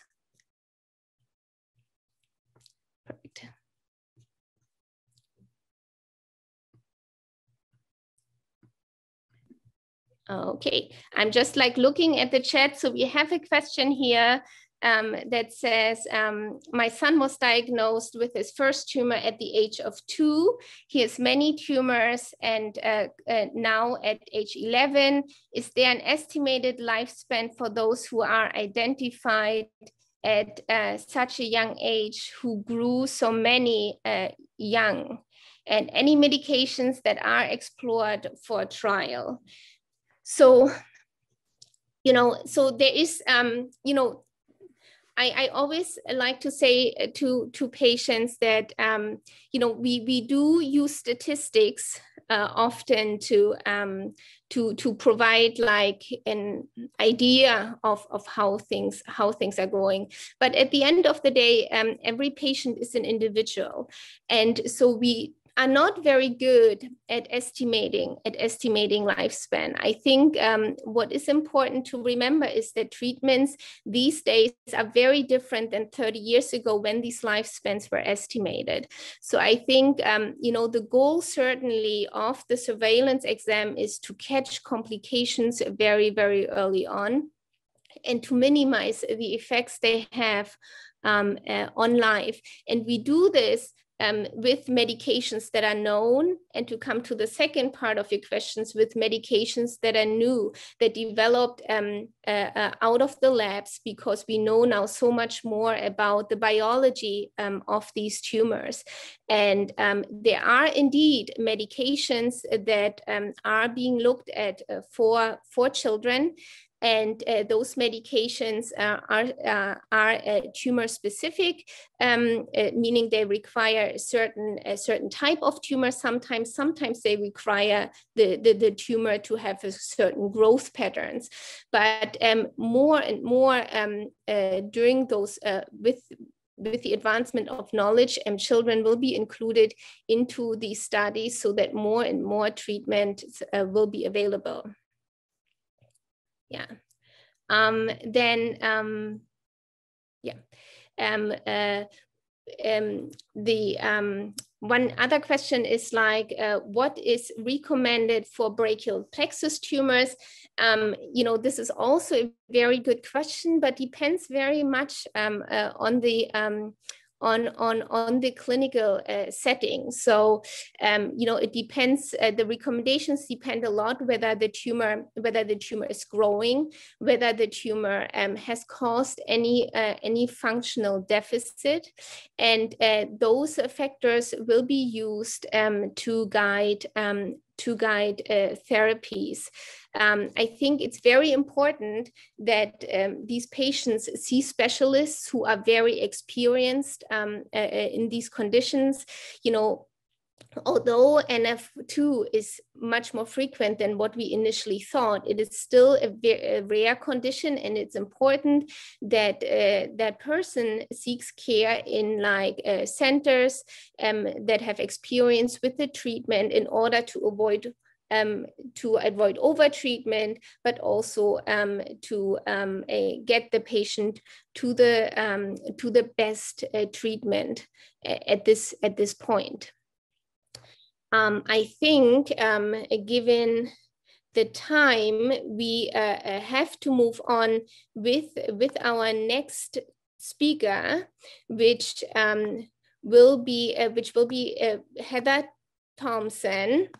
And um, I see there is one more question in the chat that I will be uh, answering uh, during the talk. Um, but um, Dr. Thompson, um, she will be giving the next talk. She's an associate professor and uh, the acting chair at uh, Sacramento State uh, University uh, in the speech language department. She is a very rare language uh, expert um, who focuses her work on the research to improve communication strategies for patients with hearing impairments. And one of her focus is our, uh, are our NF2 patients. And today she will talk about this important topic to us. Thank you. Thank you so much for the introduction. So for this presentation, I'm going to describe communication and swallowing concerns associated with NF2, discuss intervention options for communication concerns in NF2, and then end with communication strategies for individuals with NF2. So first off, what is a communication disorder? Well, it's an impairment in the ability to receive, send, process, and comprehend concepts or verbal, nonverbal, and graphic symbol systems. Individuals can have communication disorder across the lifespan, and these communication disorders can be mild to profound. Because the same mechanism that's used for speech is also used for swallowing, it is important to discuss a speech language pathology scope of practice called dysphagia. And this refers to difficulty in moving food from the mouth to the stomach without having inappropriate loss out of the lips or into the airway. So if we're going to talk about communication and communication challenges, it's important that we first talk about what is communication. So first off, when we're in a communicative interaction, we have an input. So this is information from the environment, and we can have communication happen in the visual modality when we see someone. We can hear communication when someone speaks to us. We can also receive information tactily. So, for example, an individual with a visual challenge may use Braille. We also have an output when we're engaged in a communication exchange. And this may be uh, in the graphic modality when we send or write a text or write a note. We can speak and have an output through the verbal modality. And we can also engage in gestural communication, such as use sign language or even communicate gesturally um, in everyday communication by waving or giving a thumbs up, for example. Input goes into our brain, gets integrated and processed, and then we develop a speech motor program or plan and a way to communicate verbally. So for today's presentation, I'm just going to talk briefly about input through the auditory modality and output through the verbal modality or a gestural system. So when we're talking about input, first we have to think about our auditory system.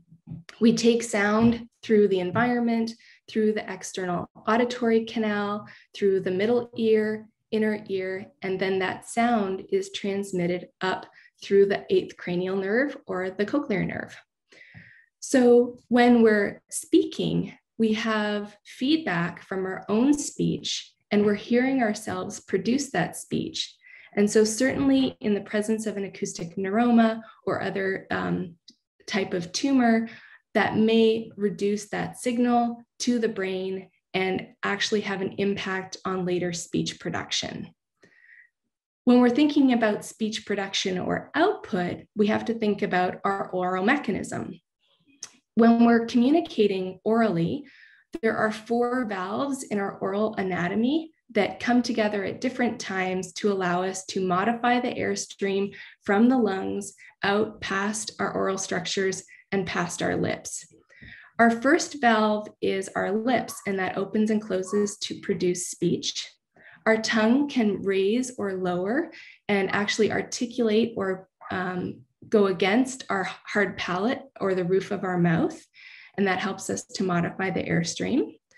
Our, um, the back of our tongue can go up and hit our soft palate, and our soft palate, or the soft portion of the roof of our mouth, actually elevates to move against the back of our throat or our posterior pharyngeal wall, and it can close off the airway leading to our nose during the production of some speech sounds.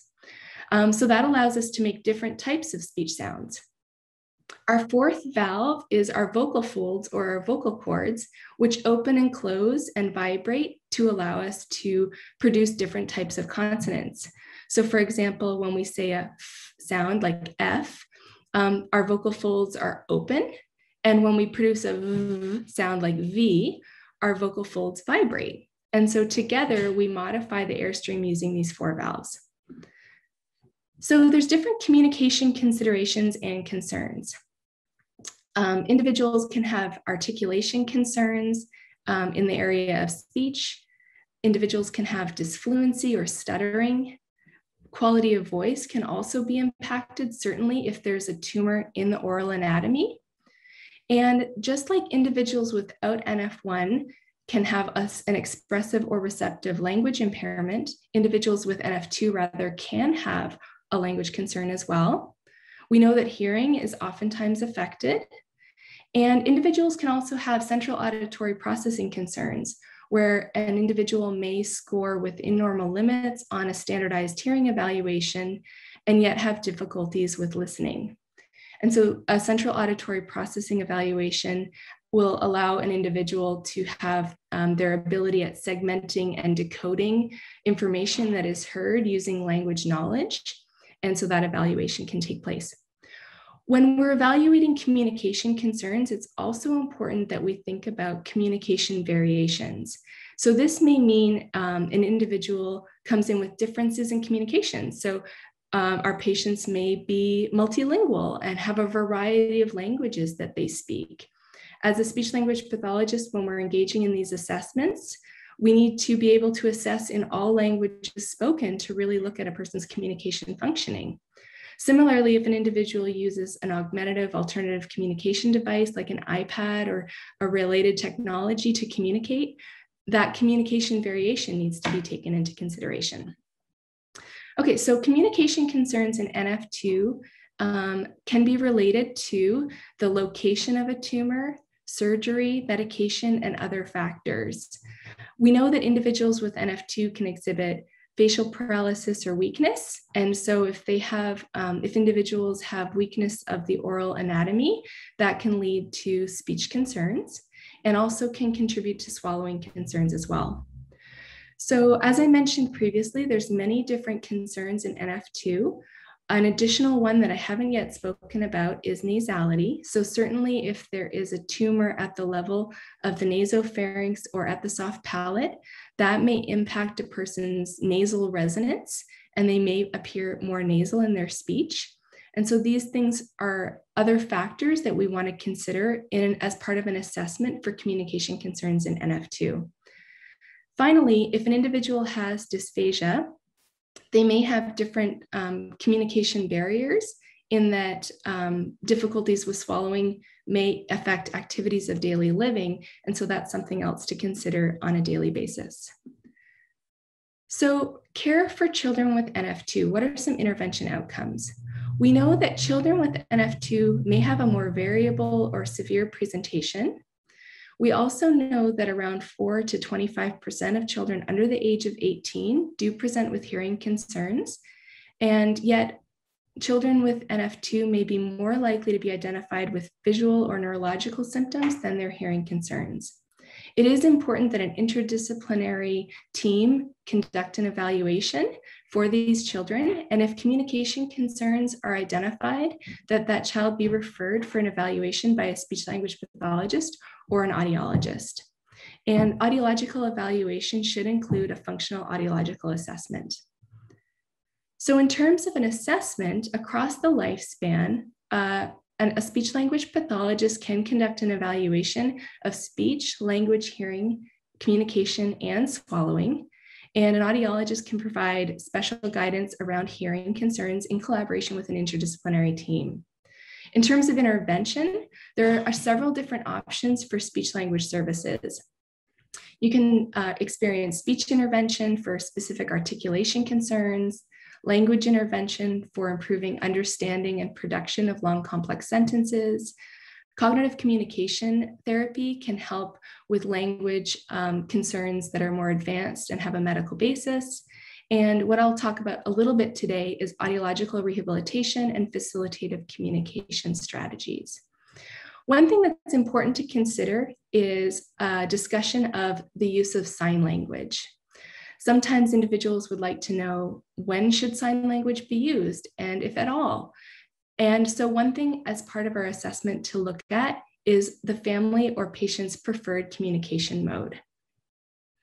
So we do know that sign language um, is available as a manual system of communication that's expressed through changes in hand configuration, orientation, location, and movement.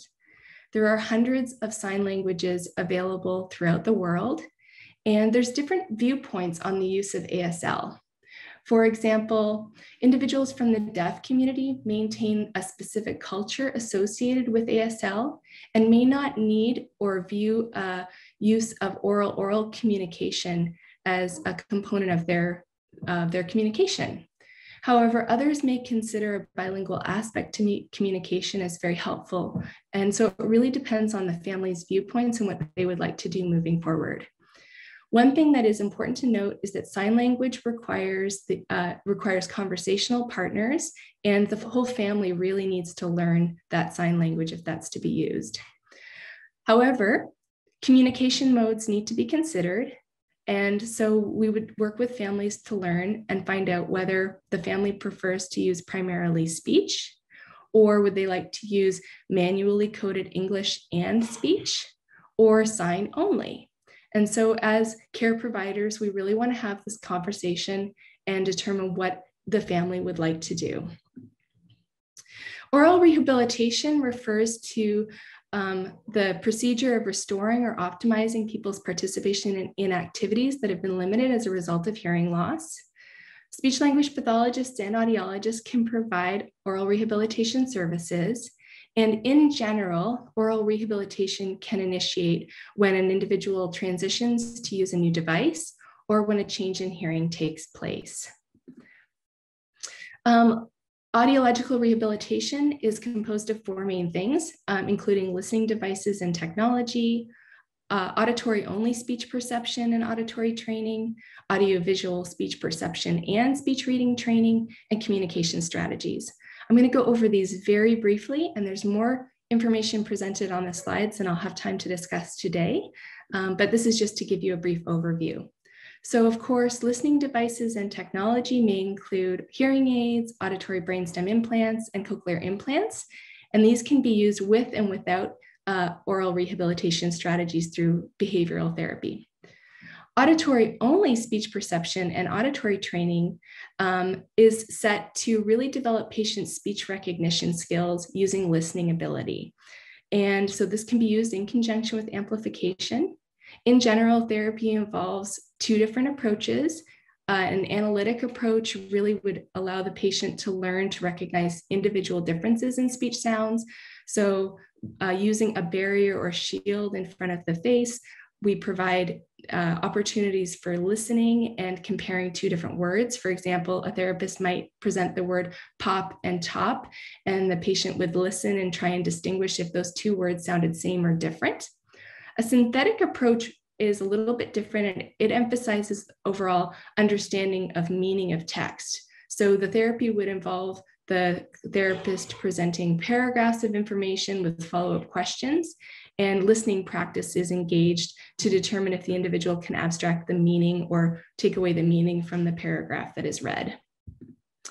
Audiovisual speech perception and speech reading training is really set to promote um, a, an individual's use of both auditory and visual signals, as well as facial expressions, gestures, and other cues to interpret speech. There's different factors that impact lip reading, including how visible the sounds are, the rate of speech, and the use of visemes. So, for example, the mouth shape of an mm sound is the same as the mouth shape of a b sound. So, those might be challenging um, when engaging in speech reading tasks. And so, therapy is really set to help individuals learn how to speech read using contextual cues and overall gestural communication. Um, finally, that brings me briefly to facilitative communication strategies. And so facilitative communication strategies are really set to promote ease of listening. So this involves um, how, allowing the patient to learn how to provide instructions to another speaker to, uh, to maximize opportunities for hearing and structuring the environment to promote ease of listening. So for example, um, an individual might tell a speaker, well, could you please face me so that I can see your face? Or when you speak very quickly, I have a tough time speech reading you. Communication strategies related to hearing um, can be applied to friends and family, as well as the individual with who is hard of hearing or has the hearing concern. So family and friends, um, when engaging in communication interactions with individuals who are hard of hearing, don't chew gum, don't wear dark glasses, don't cover your mouth with your hand, and don't speak too quickly. And I'm aware that I'm speaking fairly quickly right now. Um, but do use exaggerated facial expressions, maybe uh, look at or face the individual when talking, and consider having a nice bright lighting in the communication environment. Finally, finding opportunities where you can limit background noise is specifically and um, helpful as well. For individuals, try to sit facing your communication partner with your back to a television monitor to reduce distractions watch facial expressions, try and stay up to date on current events to provide context to the conversational setting. Consider having nice bright lighting. Um, and again, try and limit background noise. So for example, go out for dinner at a non-peak time to promote uh, ease of listening. And there's a couple of other strategies listed as well. In terms of speaking, if conversational partners have difficulty understanding, attempt to say a sentence a different way. Um, use a gentle rate of speech, and again, attend to background noise because that may facilitate um, and protect your voice. If there are episodes of disfluency or fluency is a concern, consider an intensive fluency treatment option. There are uh, two week, for example, intensive stuttering camps that can help promote fluency. And another option is augmentative alternative communication devices, such as low tech uh, communication boards or books with a with icons on them to help um, allow the individual to point to icons to indicate what they want to say. That may be a helpful option. There's also devices such as an iPad. You can have a software program such as Proloquo Go installed, and that has a tap to text speech option as well. So the last thing I wanted to mention was just to watch for swallowing concerns because of the, the tendency for swallowing concerns to be present in individuals with NF2. If individuals have pain when swallowing or feeling that something is stuck in their throat, um, exhibits trouble starting a swallow, has heartburn, or coughing while eating. These are things that may present as risk factors for swallowing concerns. So the individuals recommended to speak with their primary care physician and then follow up for a swallowing evaluation with a speech language pathologist as needed. So in summary, communication concerns are common among individuals with NF2. Swallowing concerns are also frequently occurring and uh, speech language hearing and communication evaluation and intervention can be provided by speech language pathologists and audiologists. And there's a number of communication strategies that can be used to facilitate communication outcomes. Thank you for your time. Perfect. This um, thank you so much for this uh, very insightful uh, talk and for keeping us um, on time. Um, there is um, there there's a question from the chat um, uh, asking um, from a patient stating that uh, audiology testing for their child has been planned, but communications options are not discussed by their team, when should the family think about um, those options concerning communication, for example, such as learning sign language? Absolutely. So when we're thinking about bilingual education, if bilingual bilingualism is something that the family would like to embrace, really earlier the better when learning a second language.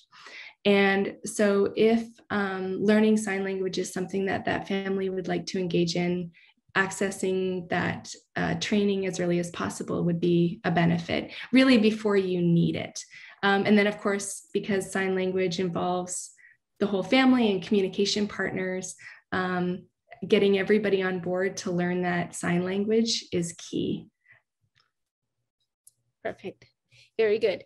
And um, another question would be, so in order to learn a sign language or the, the lip reading, you know, would any speech pathologist offer these services or would families go to a specialized speech pathologist? That's a great question. So, um, all speech language pathologists who have graduated from an accredited master's degree program will have knowledge of the hearing mechanism and the relationship between hearing and speech. However, if where you live, if it's possible to seek out a speech language pathologist that has specific expertise in aural rehabilitation, that would be to a benefit as that individual has probably individuals on their caseload. And, um, you know, it, it is something that you can specialize in in speech language pathology. So I would start with that.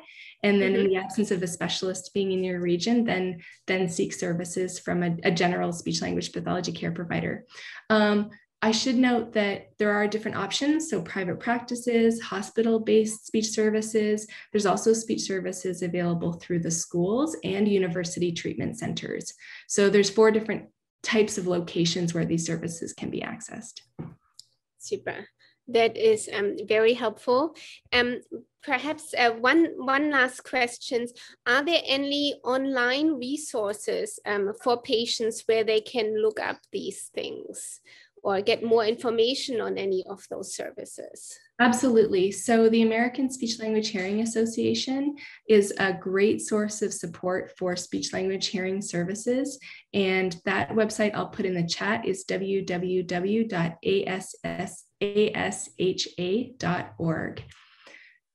Super. Very good.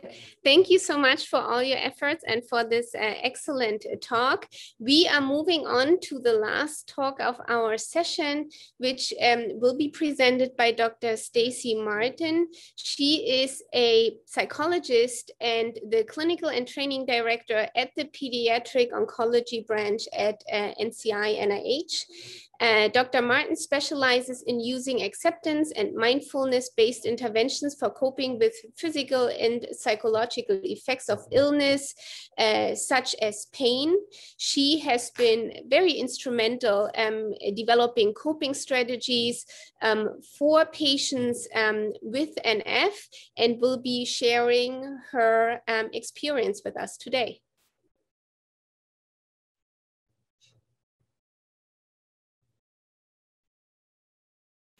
Uh, Dr. Martin, you are still on mute.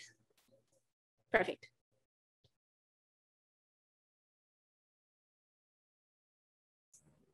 Okay. Perfect. There we go. Now I lost my slides. Um,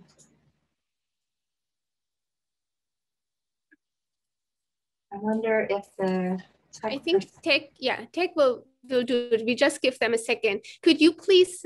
Yep, I think it's coming up. Great. Okay, thank you. No problem. Um, okay, so I'm Staci Martin. I'm a psychologist from the National Institutes of Health. And um, I'm going to talk about complementary techniques for coping with pain in the neurofibromatoses.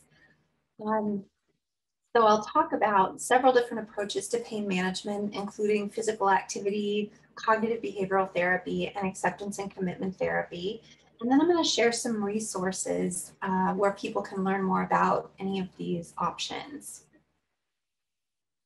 Um, so I'm going to start talking about physical activity and, and you know, to give some context, the reason that some of these techniques um, can be helpful is because a lot of people with NF take pain medication, but um, it doesn't always work that well, or they don't want to take pain medication because of the side effects. So something like physical activity um, can be really helpful, particularly low impact physical activity for people with physical limitations um, or a lot of pain that cannot um, easily do more strenuous activities.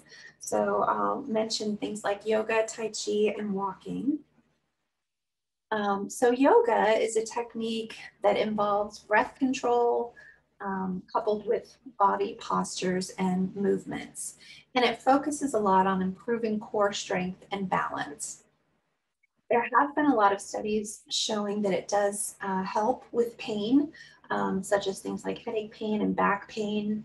Uh, and there's all different levels of yoga. You can start out really light um, with very, um, you know, gentle poses and movements and work your way up if that's feasible.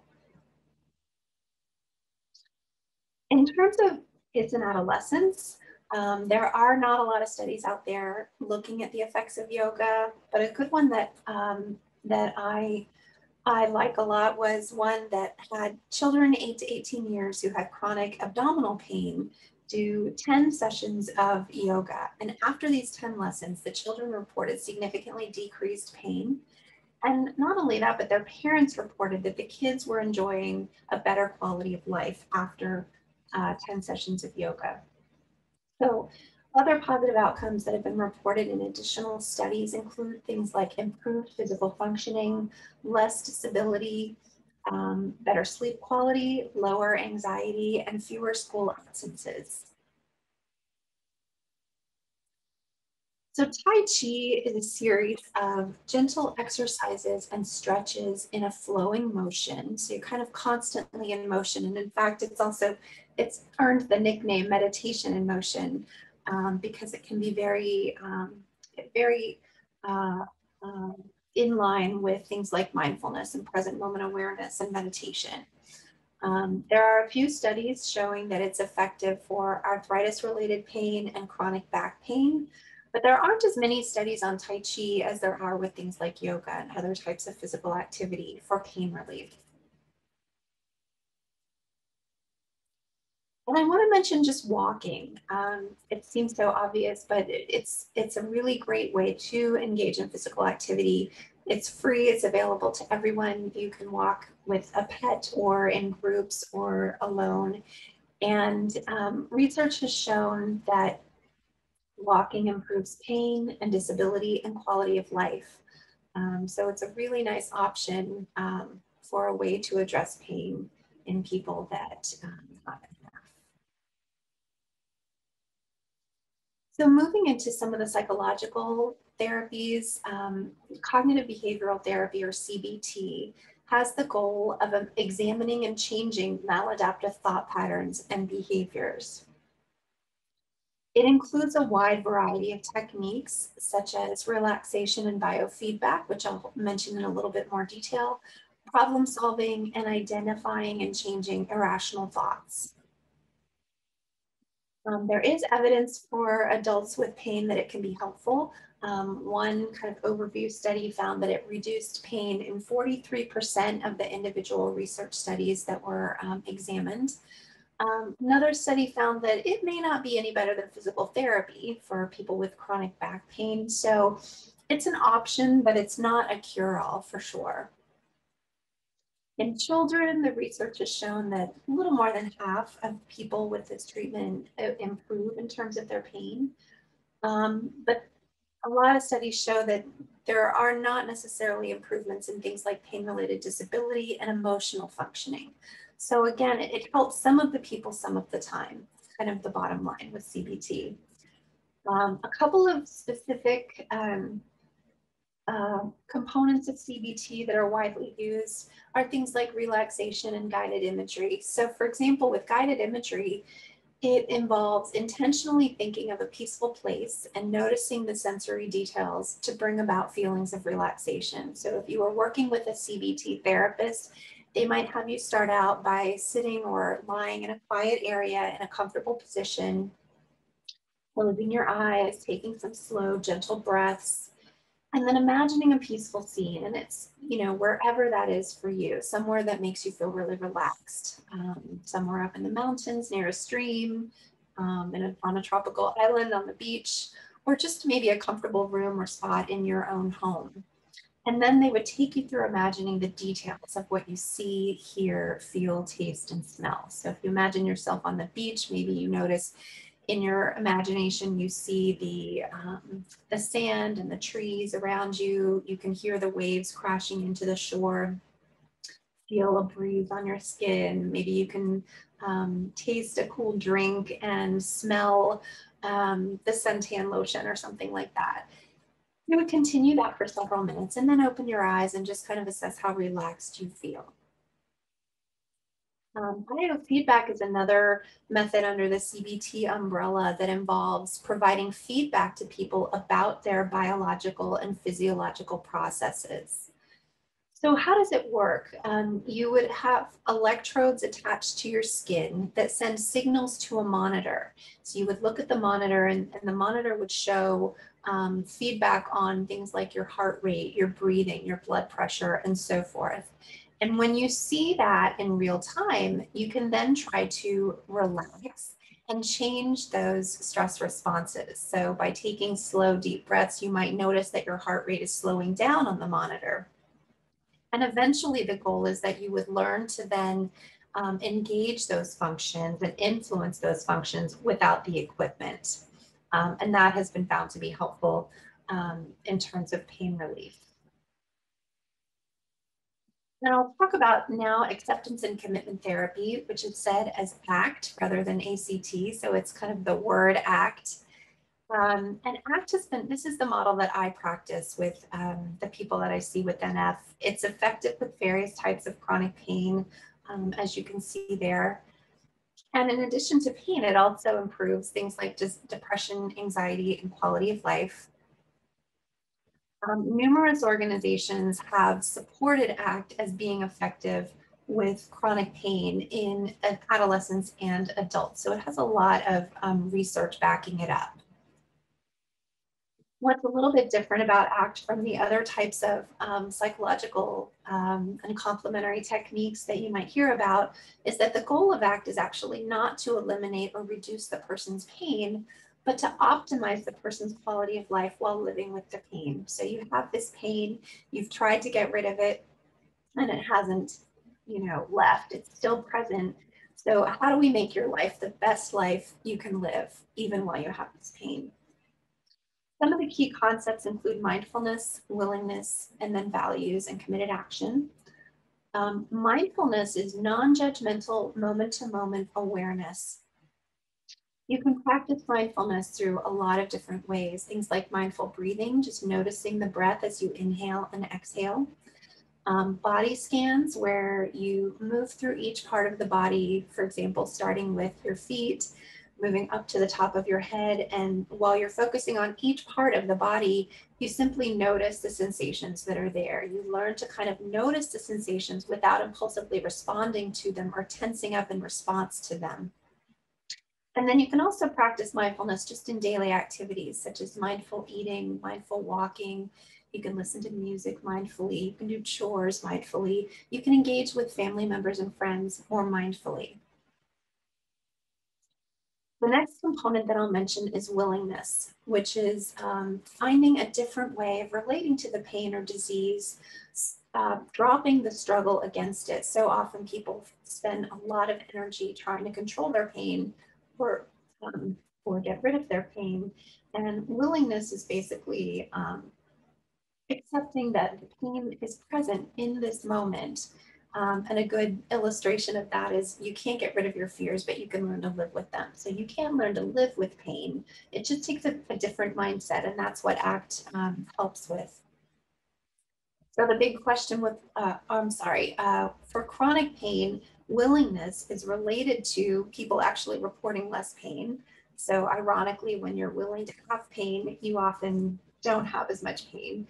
Um, there's lower pain related impairment and lower pain related anxiety when people score high on willingness or acceptance of their pain.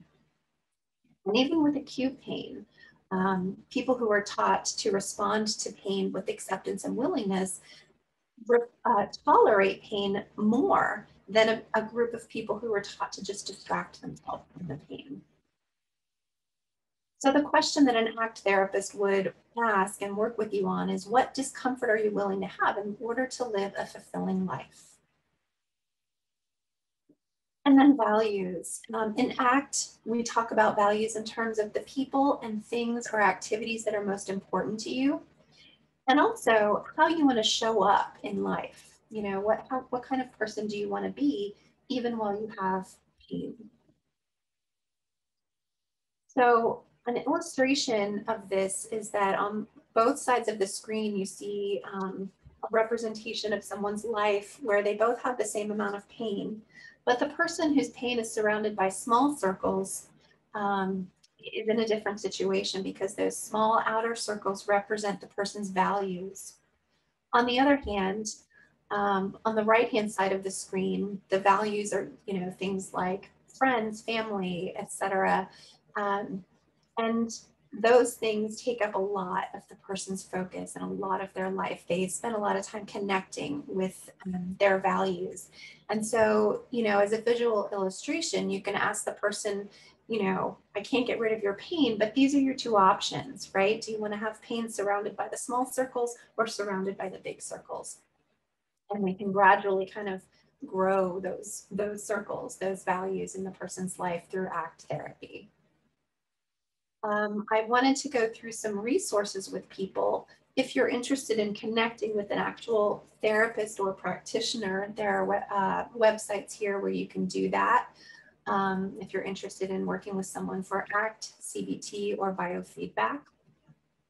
There's a lot of free resources. Um, some of the ones that I've listed there are specific to ACT and mindfulness. Um, those are the ones I'm most familiar with since that's the work that I do.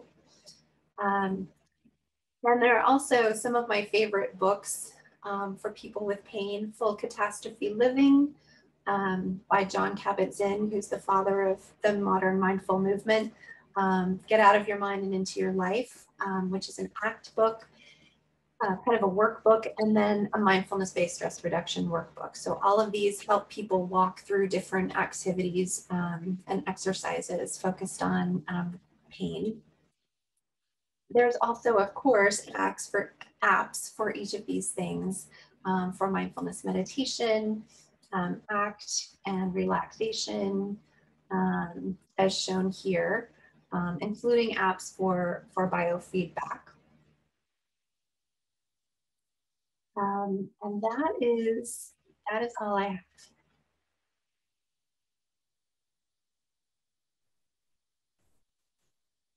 Perfect. Very good. Thank you so much, Dr. Martin, for this um, excellent and very informative talk. Uh, we're still waiting for um, some questions to come in um, through the chat.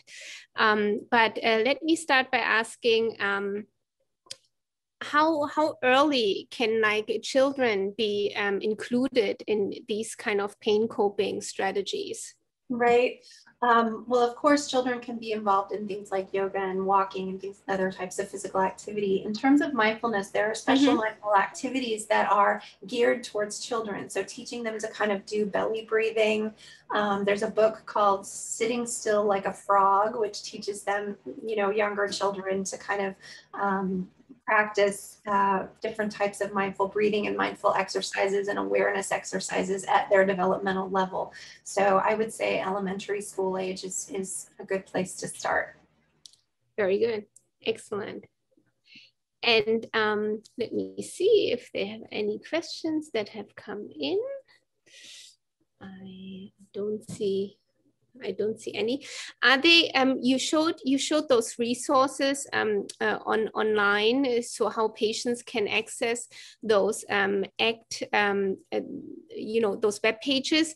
Does this include also uh, sessions that patients could um, sign up for to specifically? Um, uh, get help on that if something locally is not available we often have that problem that locally there is no therapist available Right. So some of the websites I mentioned have a, a, button where you can kind of click on to find a therapist in either in your local area or, you know, given the fact that so many people are working remotely these days, um, possibly connecting with someone who you know is beyond your local area um, so yeah there there are definitely options if you go to those websites to to find out more on that super Excellent, excellent.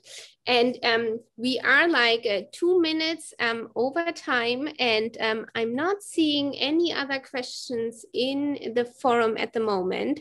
So um, I think everybody is perhaps um, craving for a noon break. It has been a very long session, and I want to thank uh, all the speakers for excellent talks, for excellent information for our patients. And um, I hope to see you in um, one of the other sessions this afternoon or next year, hopefully in person during the NF meeting. Again, uh, thank you so much. And um, I think um, everybody should have a nice uh, lunch break and I'm handing over to um, Tracy Ann. To Tracy Ann, exactly. I was just like, uh, I was in the computer moving. I was not quite sure what's happening. Thank you, Tracy Ann. It's, it's, it's fine. It's fine. Uh, thank you. Thank you to all the speakers for these incredible talks and uh, resource and information. And Verena did such a great job moderating. Like Verena mentioned, we're going to break now for lunch or whatever. Mindfulness you know? And uh, we resume at 1.45 for the clinical research and patient engagement session. I just posted the link in the chat but it's the same meeting link for the general session this morning as well. And in case you forget you could always go to ctf.org slash nf forum and click on the session for this afternoon Okay. I also posted a meeting ID as well in here. All right. Well, thank you for your time. And we'll see you this afternoon. Have thank a lovely weekend. Bye bye. Thank you, everybody. Bye.